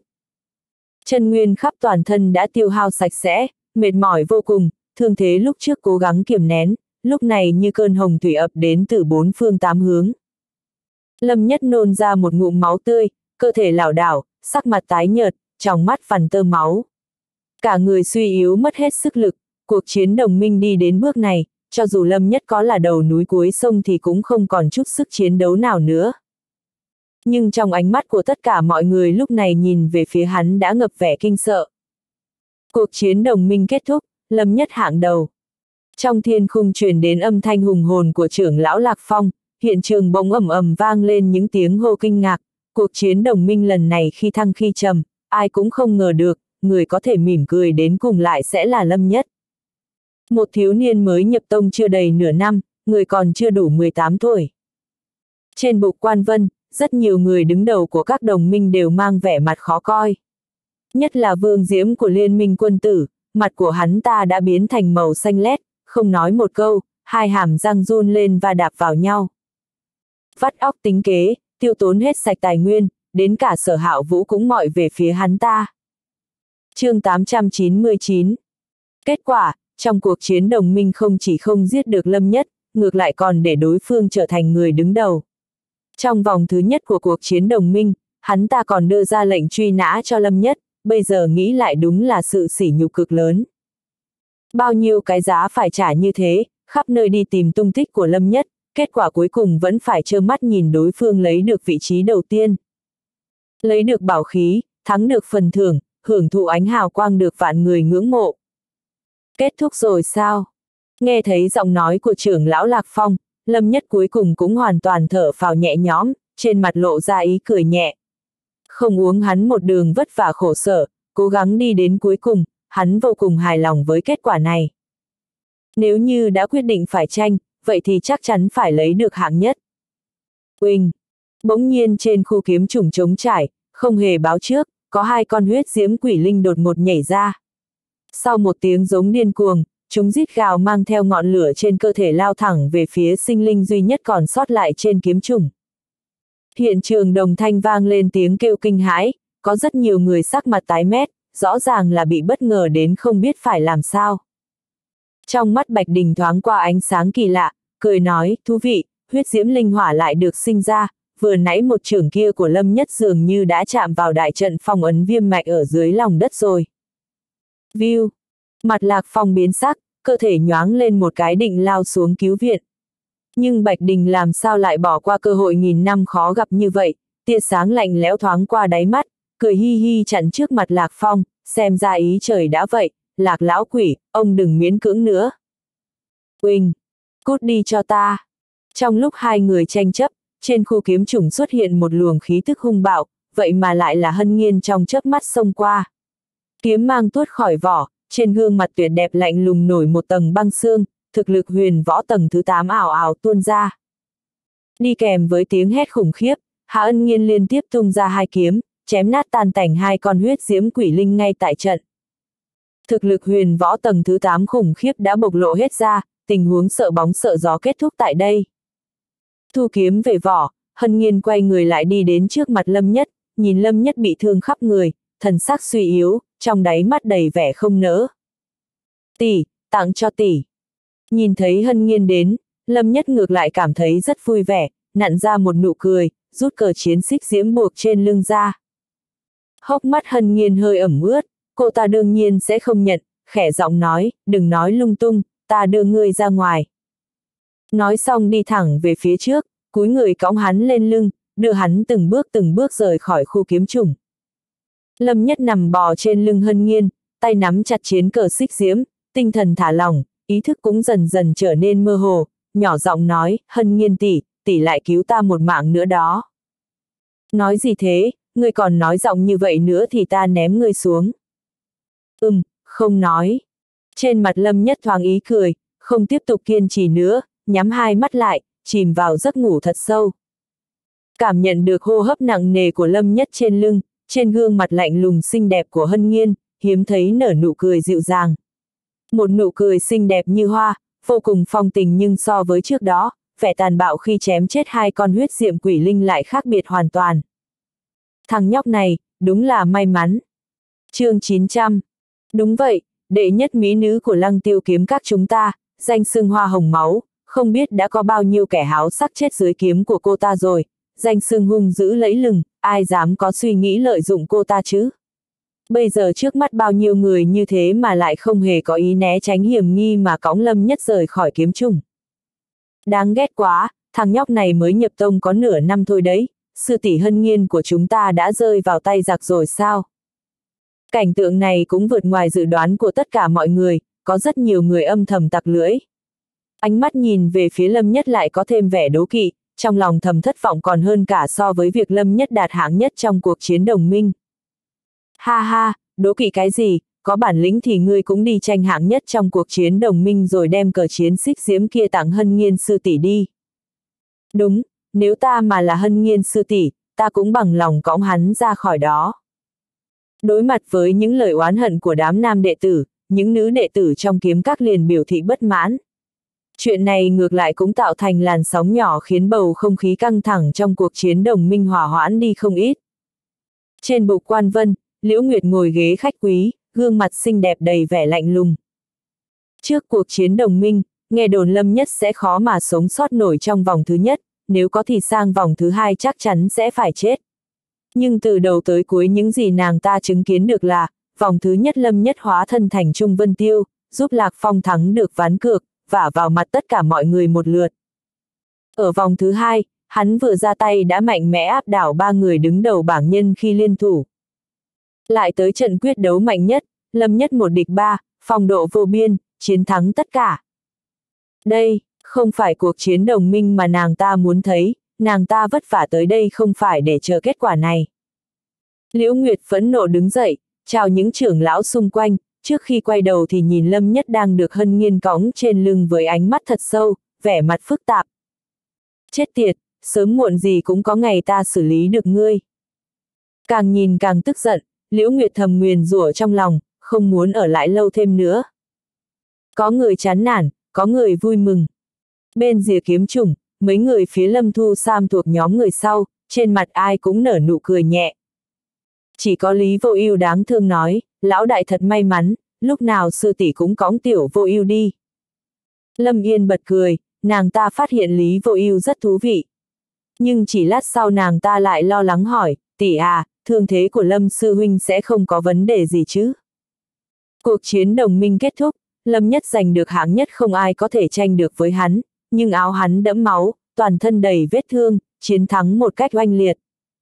Lâm Thu Sam trầm ngâm, chắc không sao đâu, dù sao đệ ấy cũng luyện long tượng chiến thể, không nên nhìn bằng ánh mắt của người thường.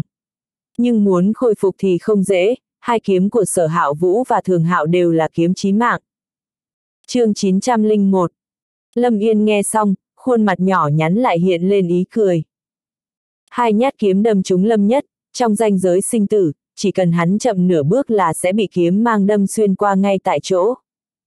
May mắn thay hắn chịu đựng được cơn đau dữ dội ấy, đẩy lùi hai người kia, nếu không hậu quả thật khó tưởng tượng. Cuộc chiến đồng minh này Lâm Nhất giành được hạng nhất không dựa vào chút may mắn nào. Tất cả các trưởng lão và đệ tử xem từ đầu đến cuối trận đều khâm phục, Lâm Nhất thực sự xứng đáng với hạng nhất cuộc chiến đồng minh. Khi Lâm Nhất tỉnh lại thì đã là ba ngày sau. Hắn ngủ quá sâu, khi mở mắt cũng thấy hơi khó khăn.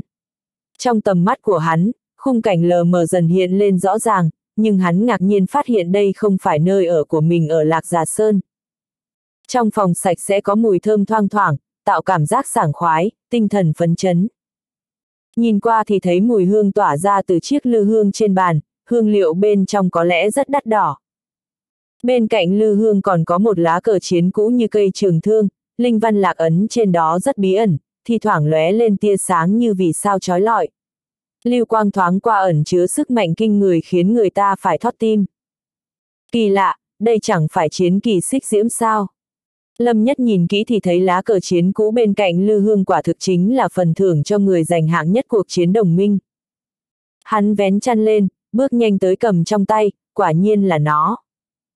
Đúng là chiến kỳ xích diễm, hắn bất giác nhìn xung quanh, trong lòng nảy sinh nghi ngờ. Tiểu tử, tỉnh lại cũng nhanh đấy. Tiếng cười sảng khoái từ bên ngoài truyền đến, Lâm Nhất quay đầu nhìn lại thì thấy một người trung niên nho nhã đẩy cửa bước vào. Chính là Mai Hộ Pháp, người đứng đầu tứ đại hộ Pháp của Lăng Tiêu Kiếm Các. Mai Hộ Pháp, Lâm Nhất sững sờ vài giây mới hoàn hồn, hắn nhớ khi cuộc chiến đồng minh kết thúc hắn được hân nghiên sư tỷ cũng về. Sau khi tỉnh dậy lại thấy Mai Hộ Pháp đầu tiên.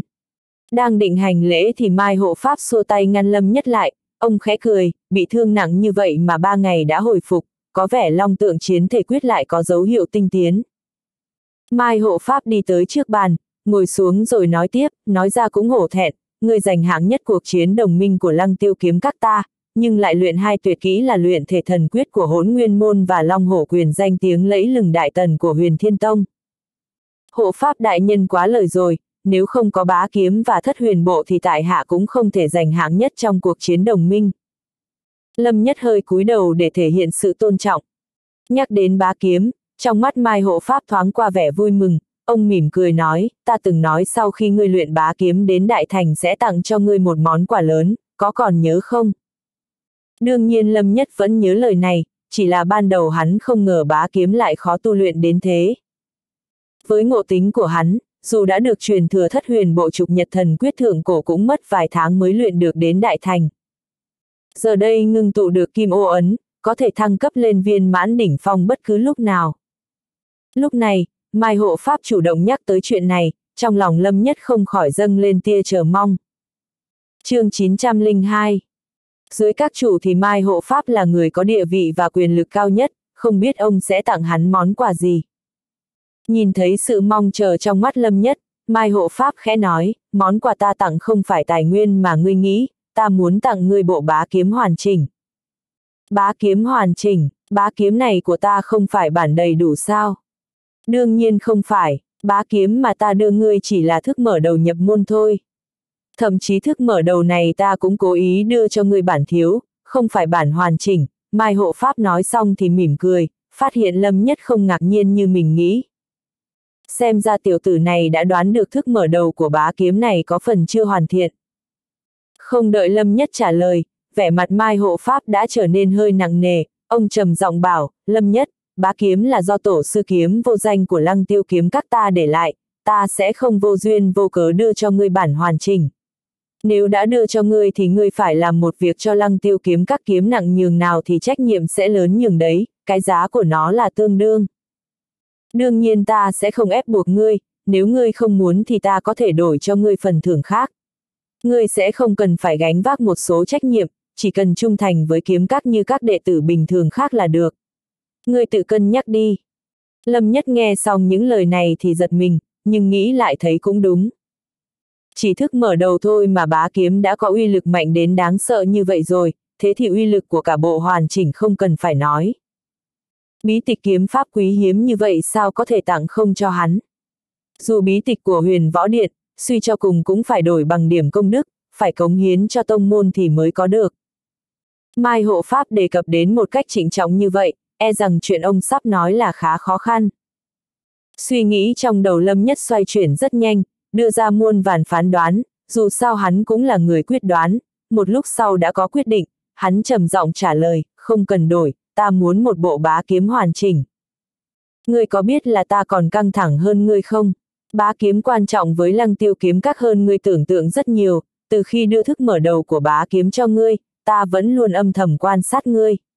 Nếu ngươi không phải người trọng tình trọng nghĩa thì dù thiên phú có tốt đến mức nào, ta cũng không đưa cả bộ bá kiếm hoàn chỉnh cho người. Mai hộ pháp rất vui mừng, vẫy tay, ngồi xuống đi đã. chương 903 sau khi Lâm Nhất ngồi xuống, Mai hộ pháp lại nói tiếp, với tư chất và ngộ tính của ngươi, sớm muộn gì cũng có ngày lên được cảnh giới tử phủ, đến lúc đó chắc chắn ngươi sẽ ra khỏi lăng tiêu kiếm các, ra khỏi đại tần đế quốc. Rồng ẩn ở vực sâu, rồng bay thì ở trên trời, thế giới này không ngăn cản được người.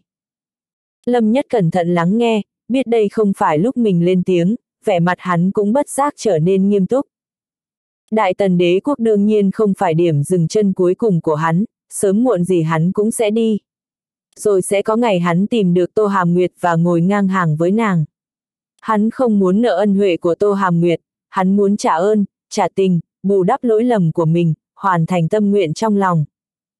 Hắn còn có hoài bão rất lớn, hắn muốn gặp những nhân tài của thế gian này, muốn du ngoạn khắp nơi, ngao du thiên hạ, muốn leo lên đỉnh cao của võ đạo. Nhưng tất cả những điều này đều đòi hỏi thực lực, vậy nên hắn cần bá kiếm, hắn không có lý do gì để từ chối cả. Mai hộ pháp chấm vào một giọt trà rồi vẽ lên bàn. Nước trà sau khi được rót chân nguyên vào rồi vẽ thành hình một lãnh thổ minh mông rộng lớn, khí tượng phi phàm. Đồng tử lâm nhất co lại, trong mắt hiện lên vẻ nghi hoặc, hắn không biết lãnh thổ minh mông rộng lớn này là gì.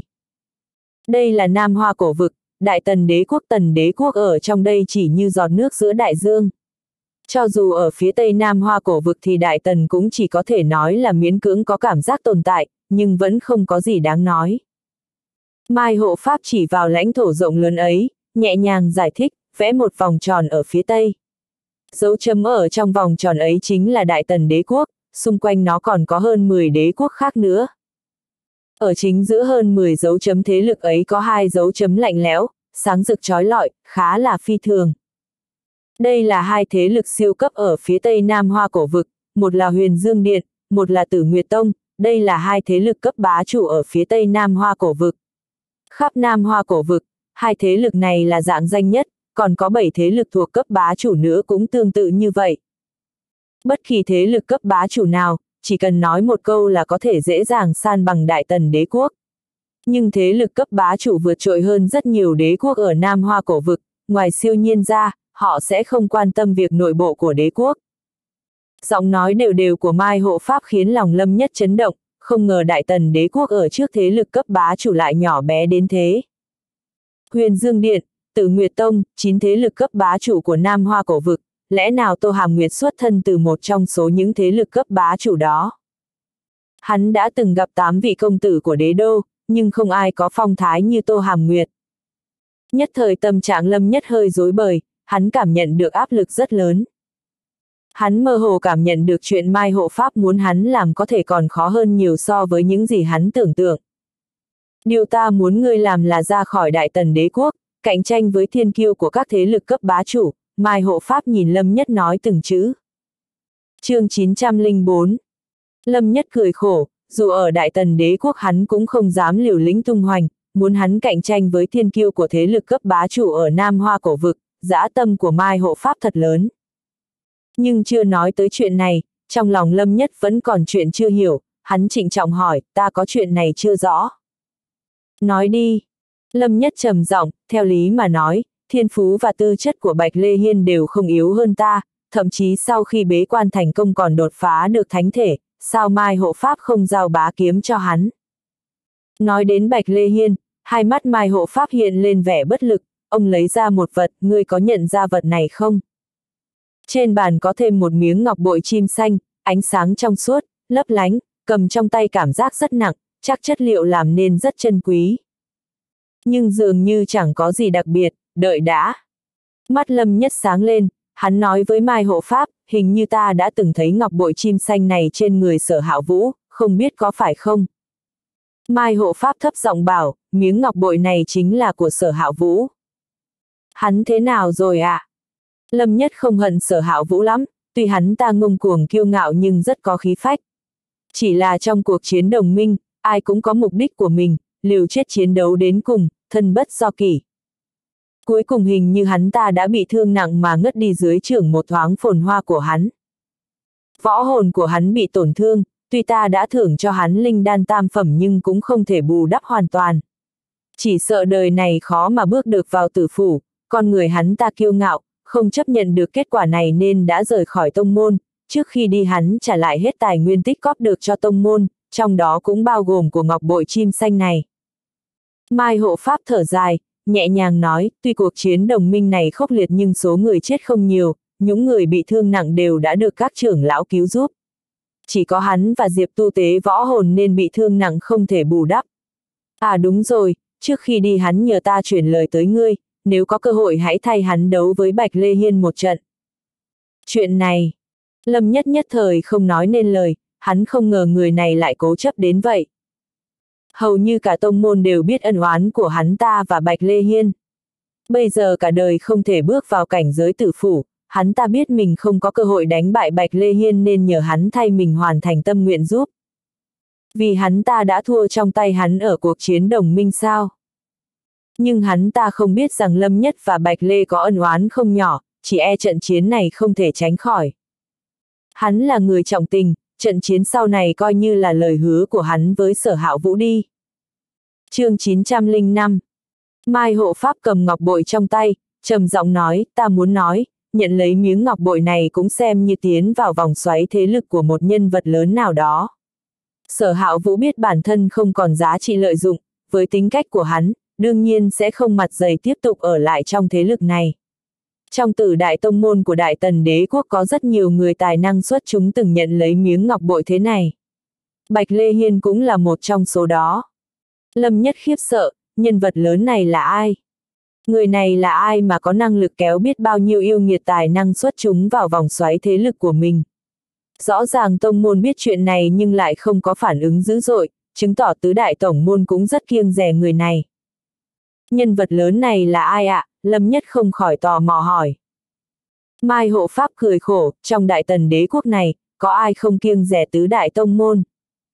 Hoàng thất, nhân vật lớn này là một vị hoàng tử. Lâm Nhất ngạc nhiên, với trí thông minh của hắn, chẳng mấy chốc đã nghĩ ra. Người cũng thông minh đấy, người này là Tần Vũ, đại hoàng tử của đương kim hoàng thất, một trong bát đại công tử, thế lực này do hoàng thất âm thầm thành lập, tên là Hội Thanh Huyền. Nhưng khi vào tay Tần Vũ, Hội Thanh Huyền này đã phát triển đến thời kỳ đỉnh cao, có thể nói là một thế lực khổng lồ, xem như một bá chủ ngầm trong đế quốc. Mai Hộ Pháp nói ra rất nhiều bí mật, ta còn có thể cho ngươi biết, Vương Diễm cũng là người của hội thanh huyền này. Lúc trước ở núi sinh tử hắn ta làm trái lệnh cấm ra tay với ngươi, tông môn chỉ có thể phạt hắn chứ không thể giết hắn cũng là vì kiêng rẻ hội thanh huyền, chứ không phải sợ tổng tộc Vương Thị đứng sau hắn. Mai hộ pháp thở dài, sau đó nói với giọng điệu nặng nề, bây giờ ngươi đã biết vì sao dù Bạch Lê Hiên có cơ hội thăng lên thánh thể, ta cũng không thể đưa bá kiếm cho hắn đúng không? Đúng vậy, nếu Bạch Lê Hiên đã là người của hội thanh huyền. Đương nhiên lăng tiêu kiếm các không thể giao một thứ quan trọng như bá kiếm cho hắn ta, thân phận của hắn ta cũng giống như nội gián hoàng thất đế quốc cài vào kiếm các vậy. Nhưng không có chứng cứ xác thực, tông môn không thể dựa vào một miếng ngọc bội để giết chết hắn ta được. Hơn nữa cũng không thể thật sự trở mặt với hoàng thất, chỉ có thể mắt nhắm mắt mở, âm thầm đào tạo những thiên tài kiệt xuất khác thôi. Đại tần đế quốc nhìn như sóng yên biển lặng, không ngờ cũng có nước ngầm dao động. Có điều trong lòng hắn vẫn hơi nghi ngờ. Hộ pháp đại nhân, tông môn thật sự sợ hoàng thất đến thế à? Trước khi đến, hắn từng nghe nói tứ đại tông môn căn cơ vững vàng, đều là những thế lực không chịu ảnh hưởng của hoàng thất đế quốc. Mất cái này được cái kia mà thôi, nếu hoàng thất yếu đi, đương nhiên bọn họ không dám trắng trợn như thế. Nhưng từ sau khi tần thiên học phủ thành lập, cao thủ cũng không ngừng xuất hiện.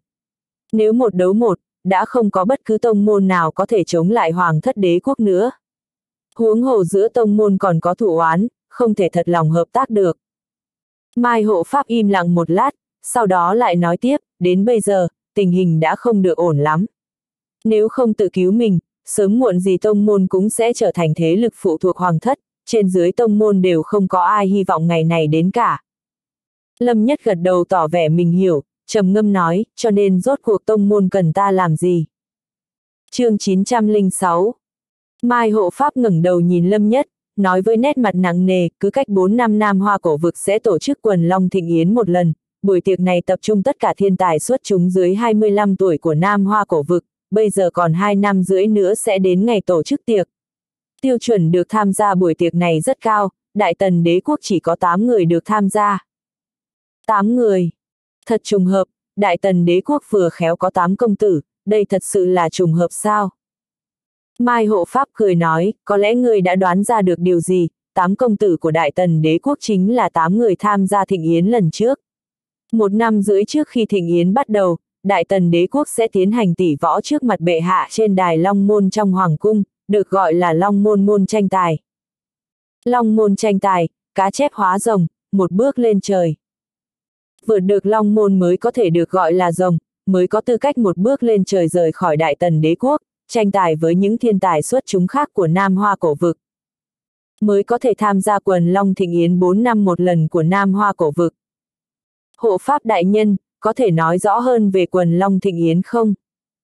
Lâm Nhất cảm thấy rất tò mò với quần Long Thịnh Yến này, rất khó tưởng tượng quần Long Thịnh Yến hội tụ toàn bộ thiên tài xuất chúng của Nam Hoa cổ vực sẽ khiến người ta kích động đến mức nào. Người vượt qua long môn tranh tài của Hoàng cung Đại Tần đã rồi tính sau, nếu ngay cả cửa ải này cũng không qua được thì không cần phải hiểu về quần Long Thịnh Yến. Nếu vượt qua, không cần ta nói người cũng sẽ biết. Lời của Mai Hộ Pháp như một chậu nước lạnh xối xuống, tâm trạng kích động của Lâm Nhất thoáng chốc bị dập tắt. Đúng là nghĩ hơi xa rồi. Trong Đại Tần Đế Quốc, còn chưa nói đến bát công tử địa vị cao quý, hắn và các đệ tử bảng thiên khác của kiếm các đã có cách biệt rất xa rồi. Mà sau cuối năm đã phải tham gia long môn tranh tài. Tỉnh táo nghĩ lại, trong một năm ngắn ngủi, dường như có hơi khó khăn. Long môn tranh tài sẽ tập trung tất cả thiên tài của Đại Tần Đế Quốc, ai cũng đều muốn giành cơ hội cá chép hóa rồng, tám vị trí đâu dễ tranh giành. Người lọt vào 8 vị trí đầu của cuộc tranh tài đều sẽ nhận được phần thưởng phong phú của thánh sứ, thậm chí người đứng đầu bảng còn có thể đưa ra một yêu cầu với thánh sứ. Lâm Nhất nghe mà động lòng, không khỏi ngạc nhiên nói, thánh sứ là ai ạ? À? Yêu cầu gì cũng được sao? Mai hộ pháp giải thích, thánh sứ là sứ giả của quần Long Thịnh Yến, ông ta sẽ chỉ xuất hiện trong Long môn tranh tài, nhưng trong đế quốc, lời của ông ta còn có quyền lực hơn lời của Hoàng đế Đại Tần. Nếu yêu cầu không quá đáng, ông ta đều có thể đồng. Vậy xem ra trong cuộc long môn tranh tài cuối năm phải dốc hết sức mình rồi, trong mắt Lâm Nhất có ánh sáng lướt qua, hắn trầm giọng nói. Mai hộ pháp thì rất bình tĩnh, nhẹ giọng bảo, không vội, ngươi chỉ mới 17 tuổi, tạm thời xem như một thực tập là được, tông môn hoàn toàn có thể đợi thêm 4 năm nữa. chương 907 Trước mắt chỉ còn 10 tháng nữa là đến cuối năm, tính chính xác là còn chưa đến một năm. Với tu vi của Lâm Nhất bây giờ, muốn tranh đấu với những người khác thật sự không công bằng. Nhưng 4 năm sau thì lại khác, dựa vào thiên phú của Lâm Nhất rất có thể sẽ thăng lên được cảnh giới tử phủ. Đến lúc đó tham gia Long môn tranh tài thì chắc chắn sẽ thắng, cảnh giới tử phủ tham gia quần Long Thịnh Yến cũng sẽ có cơ hội hơn.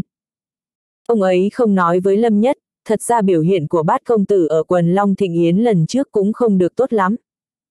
Nhưng Lâm Nhất thì không nghĩ thể, dù chỉ là hy vọng nhỏ nhoi, hắn vẫn sẽ cố gắng tranh giành. Dù sao 4 năm là quá dài với hắn. Tạm thời không nói đến những chuyện này, dù là long môn tranh tài thì cũng còn lâu mới tổ chức. Ta đưa phần thưởng hạng nhất cuộc chiến đồng minh lần này cho người trước đã. Mai hộ pháp cười khẽ, lấy một túi chữ vật ra đưa cho Lâm Nhất. Hắn mở ra xem thử, lập tức giật cả mình, trong túi chữ vật đều là linh ngọc nhị phẩm, nhiều đến mức khiến người ta loa cả mắt. Đây là... Thấy Lâm Nhất ngạc nhiên, Mai Hộ Pháp kể sơ qua chuyện Lạc Phong đánh cược với Bạch Đình, giúp hắn thắng được 5.000 linh ngọc nhị phẩm. Thú vị thật, không ngờ ngoài cuộc chiến đồng minh còn có những chuyện này, bây giờ ta hơi tò mò, không biết tâm trạng của Bạch Đình trưởng lão thế nào. Lâm Nhất tiện tay cất túi chữ vật đi, cười nói. Ngoài cuộc chiến đồng minh, còn có thể vả mặt ông già kia, thật sự quá đã. 5.000 viên linh ngọc nhị phẩm đã có thể xem như một giải thưởng lớn đối với hắn lúc này rồi. Mai hộ pháp lại thưởng cho hắn 1.000 viên linh ngọc nhị phẩm, đây là phần thưởng của tông môn dành cho hạng nhất trong cuộc chiến đồng minh. Cái quan trọng nhất sau đó đương nhiên là bảo khí trên bàn, chiến kỳ xích diễm. Mai hộ pháp nhướng mày cười trêu, hân nghiên đã nói với ta, tiểu tử ngươi có phong độ thật, ngay cả bảo khí cũng dám tặng người khác nhưng với tính cách của nàng chắc chắn nàng không dám lấy, ta có thể nhìn ra nha đầu này thật sự xem ngươi là đệ đệ của mình, ngươi cứ nhận lấy đi. Thái độ trêu chọc của ông ấy khiến Lâm Nhất hơi ngại, chỉ có thể cười ngượng ngùng, không tiện từ chối nữa. Khi Mai hộ pháp cầm chiến kỳ xích diễm trong tay, trong mắt hắn lóe lên vẻ tò mò. Chiến kỳ xích diễm này khá có lai lịch, vốn chính là bảo khí thượng phẩm đứng đầu. Bây giờ dù có hư hại, nhưng uy lực trong các bảo khí hạ phẩm cũng không hề tầm thường. Ta sẽ giải phong ấn giúp ngươi trước, sau đó chủ ngươi nhỏ máu lên là có thể nhận chủ. Mai hộ pháp quẹt tay một cái lên trên chiến kỳ xích diễm. ầm, um, Một hơi thở vừa nóng bỏng vừa cuồng bạo thoáng chốc bốc lên từ trên chiến kỳ, linh văn màu vàng in trên cán cờ phát ra ánh sáng lấp lánh, rực rỡ trói mắt, chứa đựng hơi thở khiến người ta sợ hãi. chương 908 Văn vân huyết diễm thêu trên lá cờ chậm rãi bốc chảy, văn vân chập chờn như một ngọn núi lửa nguy nga đang ở ngay bên cạnh. Bảo khí, đây chính là uy thế của bảo khí, đứng ở cự ly gần còn khiến Lâm Nhất có cảm giác không thở nổi. Chiến kỳ xích diễm có hai trạng thái, một là đánh xa, có thể phóng ra xích diễm chân hỏa, đốt cháy đại địa, nếu cảnh giới của ngươi nâng cao thêm mấy cấp còn có thể đánh lui cả cao thủ cảnh giới tử phủ. Còn một trạng thái nữa là cận chiến, có thể biến thành lưỡi đao xích diễm. Mai hộ pháp cầm chiến kỳ xích diễm, xoay nhẹ một cái, đung đưa lá cờ trên cán cờ. Đầu cán cờ biến thành một lưỡi đao màu đỏ thấm, cuối cán cờ vụt một tiếng, hai lưỡi hái sắc bén mang theo ánh sáng lạnh lẽo bắn ra. Trong nháy mắt, chiến kỳ xích diễm thon dài trở nên vừa dữ tợn vừa đáng sợ, chẳng khác nào một con quái thú hung ác. Cạch cạch. Sau đó lưỡi hái thu về, lưỡi đao rung nhẹ, lại trở thành lá cờ tung bay trong gió. Nhỏ máu của người lên đi. Mai hộ pháp nghiêm túc đưa chiến kỳ xích diễm đến. Lâm nhất chờ mong đã lâu, cắn rách ngón tay, lúc nhỏ máu lên lá cờ, trong đầu hắn ong lên một cái, tựa như có một luồng hồn phách đã hòa vào với chiến kỳ xích diễm vậy. Hắn cầm chiến kỳ trong tay, một cảm giác huyết mạch tương liên, tâm linh tương thông tràn ngập cả người. Cảm nhận lực lượng không ngừng dâng trào trong chiến kỳ xích diễm, trên mặt lâm nhất lộ vẻ hưng phấn, mạnh quá. Nếu hắn lại gặp phải sở hạo vũ, dựa vào uy lực của chiến kỳ xích diễm, có lẽ một chiêu đã có thể khiến hắn ta tan xương nát thịt rồi. Có điều khi muốn vung cờ, hắn lại phát hiện với chân nguyên của mình, muốn làm việc này có vẻ hơi khó khăn. Cất vào trước đi, sau này ngươi có thể tự lĩnh ngộ bí ẩn trong đó, với tu vi của ngươi bây giờ rất khó sử dụng bảo khí, tốt nhất đừng nên tùy tiện sử dụng. Mai hộ pháp thấy rõ vẻ vui mừng trên mặt Lâm Nhất, khẽ cười nói. Ta biết rồi. Lâm Nhất cười đáp, cẩn thận cất bảo bối này vào trong túi chữ vật, ngẩng đầu nói, hộ pháp đại nhân, có phải còn cần đưa ta một thứ nữa không? Ý ngươi là bá kiếm bản hoàn chỉnh à? Mai hộ pháp cười khẽ, thản nhiên nói, đợi tu vi của ngươi đủ điều kiện, ta sẽ đưa nó cho người. Sao ngươi không nghĩ lại xem, chỉ thức mở đầu của bá kiếm mà ngươi đã tu luyện vất vả thế rồi, thì bản hoàn chỉnh có thể tùy tiện tu luyện được không? Lâm Nhất Vân về cầm, cảm thấy khá có lý, nhưng lại thấy có gì đó không đúng. Hắn ngẩng đầu nhìn lên, phát hiện trong mắt Mai hộ pháp thoáng lộ vẻ gian trá, khiến hắn cảm thấy nghi ngờ. Hình như bị gài rồi. Nét mặt của Mai hộ pháp nghiêm túc trở lại, cười nói, tạm thời không thể đưa bá kiếm toàn bản cho ngươi, nhưng ta đã nâng cấp tiêu vân lệnh lên lục phẩm giúp ngươi rồi. Có thể thoải mái chọn một quyển kiếm pháp linh cấp ở huyền võ điện để tu luyện, ta đi trước đây chương 909 quá đã. Thoải mái chọn một quyển kiếm pháp linh cấp, như thế cũng được, Lâm Nhất ngẫm nghĩ. Bình thường vừa thăng lên làm đệ tử nội môn chỉ có thể lựa chọn kiếm pháp linh cấp hạ phẩm thôi. Đúng rồi, đây là đâu ạ? À? Đến bây giờ Lâm Nhất vẫn chưa biết mình đang ở đâu. Đây là chỗ tu luyện của ta. Chỗ tu luyện của Mai Hộ Pháp. Trước mắt Lâm Nhất lập tức sáng lên, bảo địa phong thủy của lăng tiêu kiếm các đều đã bị các trưởng lão giành hết. Dưới các chủ, Mai Hộ Pháp gần như là một tay che trời, chỗ tu luyện của ông ấy chắc chắn là bảo địa phong thủy hàng đầu. Nếu bế quan ở đây mấy tháng, vậy chẳng phải là lời to sao? Chỉ cho phép ở lại ba ngày, ba ngày sau cút đi cho ta. Bên ngoài vang lên tiếng của Mai hộ pháp, phá tan mộng đẹp của Lâm Nhất, hắn không khỏi cười khổ, đường đường là hộ pháp đại nhân mà lại keo kiệt thế, ba ngày thì ba ngày. Đợi Mai hộ pháp đi xa, Lâm Nhất vệ sinh cá nhân, thay một bộ áo xanh sạch sẽ, mở cửa đi ra ngoài. Nơi này là một trang viên trồng đầy những cây mai đã được cắt tỉa, mặt đất là bãi cỏ xanh mướt. Trên không trung tràn ngập khí lạnh, điểm xuyến những cánh hoa mai, cảnh đẹp ý vui, phong cảnh hữu tình khiến tinh thần người ta cũng trở nên nhẹ nhàng khoan khoái. Linh khí thiên địa ngưng tụ thành sương mù mờ ảo, như ẩn như hiện trong vườn mai. Vùng đất tốt. Lâm nhất cảm thán, không hổ là chỗ tu luyện của Mai Hộ Pháp, sự nồng đậm của tinh hoa nhật nguyệt ở nơi này vượt xa lạc giả sơn. Phải tìm một nơi có linh khí nồng đậm nhất mới được, nhất định không thể lãng phí ba ngày này. Trong mắt có tia sáng lướt qua, Lâm Nhất ngửi hương ngắm hoa, chậm rãi bước đi. Đường đi ngoằn ngoèo, hành lang yên tĩnh, hắn đi qua rất nhiều lầu các núi giả, cuối cùng dừng lại trước một hồ nước. Trong hồ có cánh hoa trôi, nước hồ trong suốt thấy đáy, không nhiễm chút bụi, tựa như gương sáng.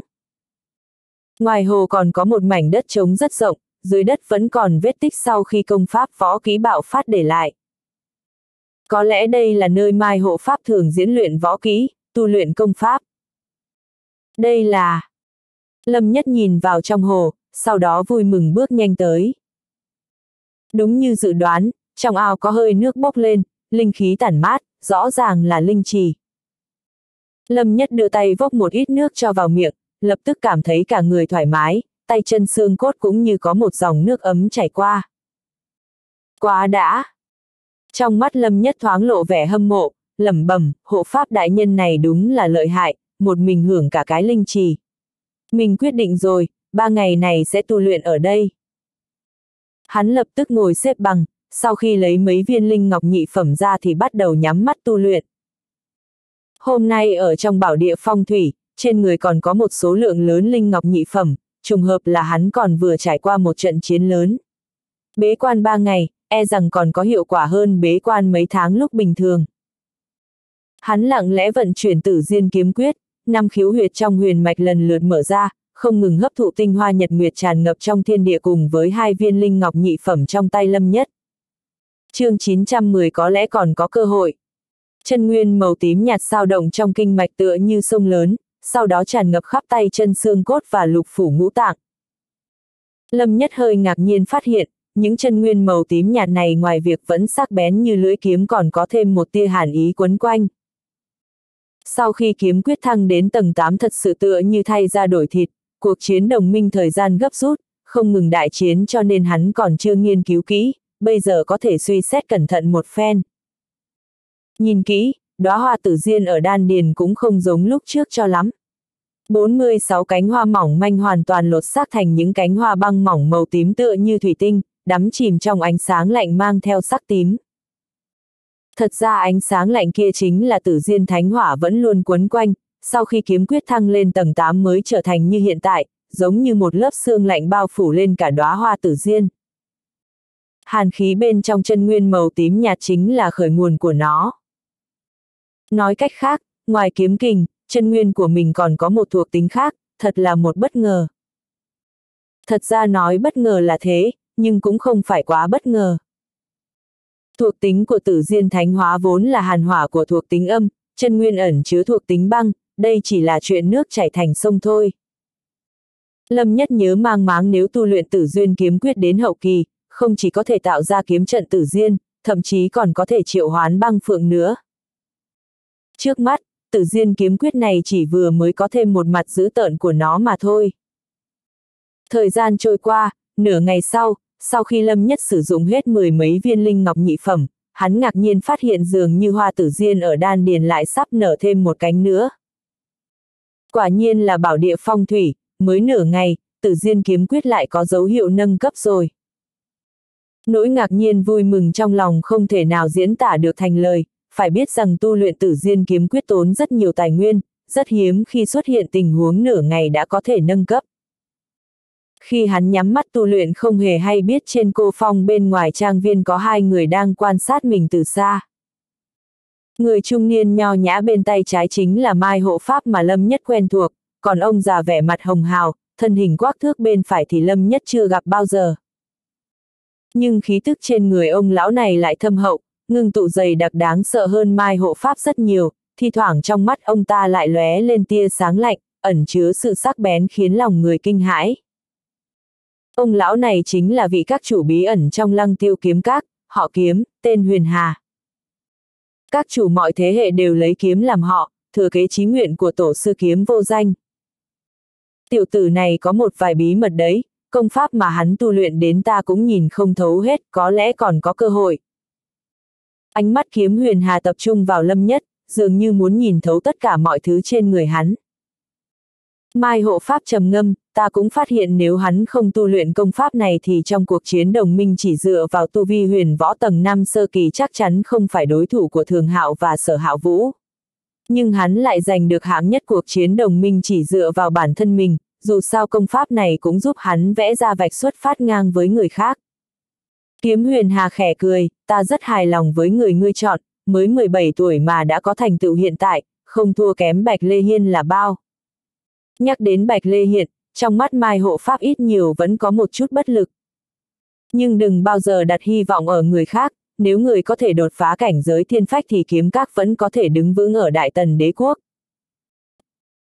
Audio điện tử võ tấn bền Hết tập 35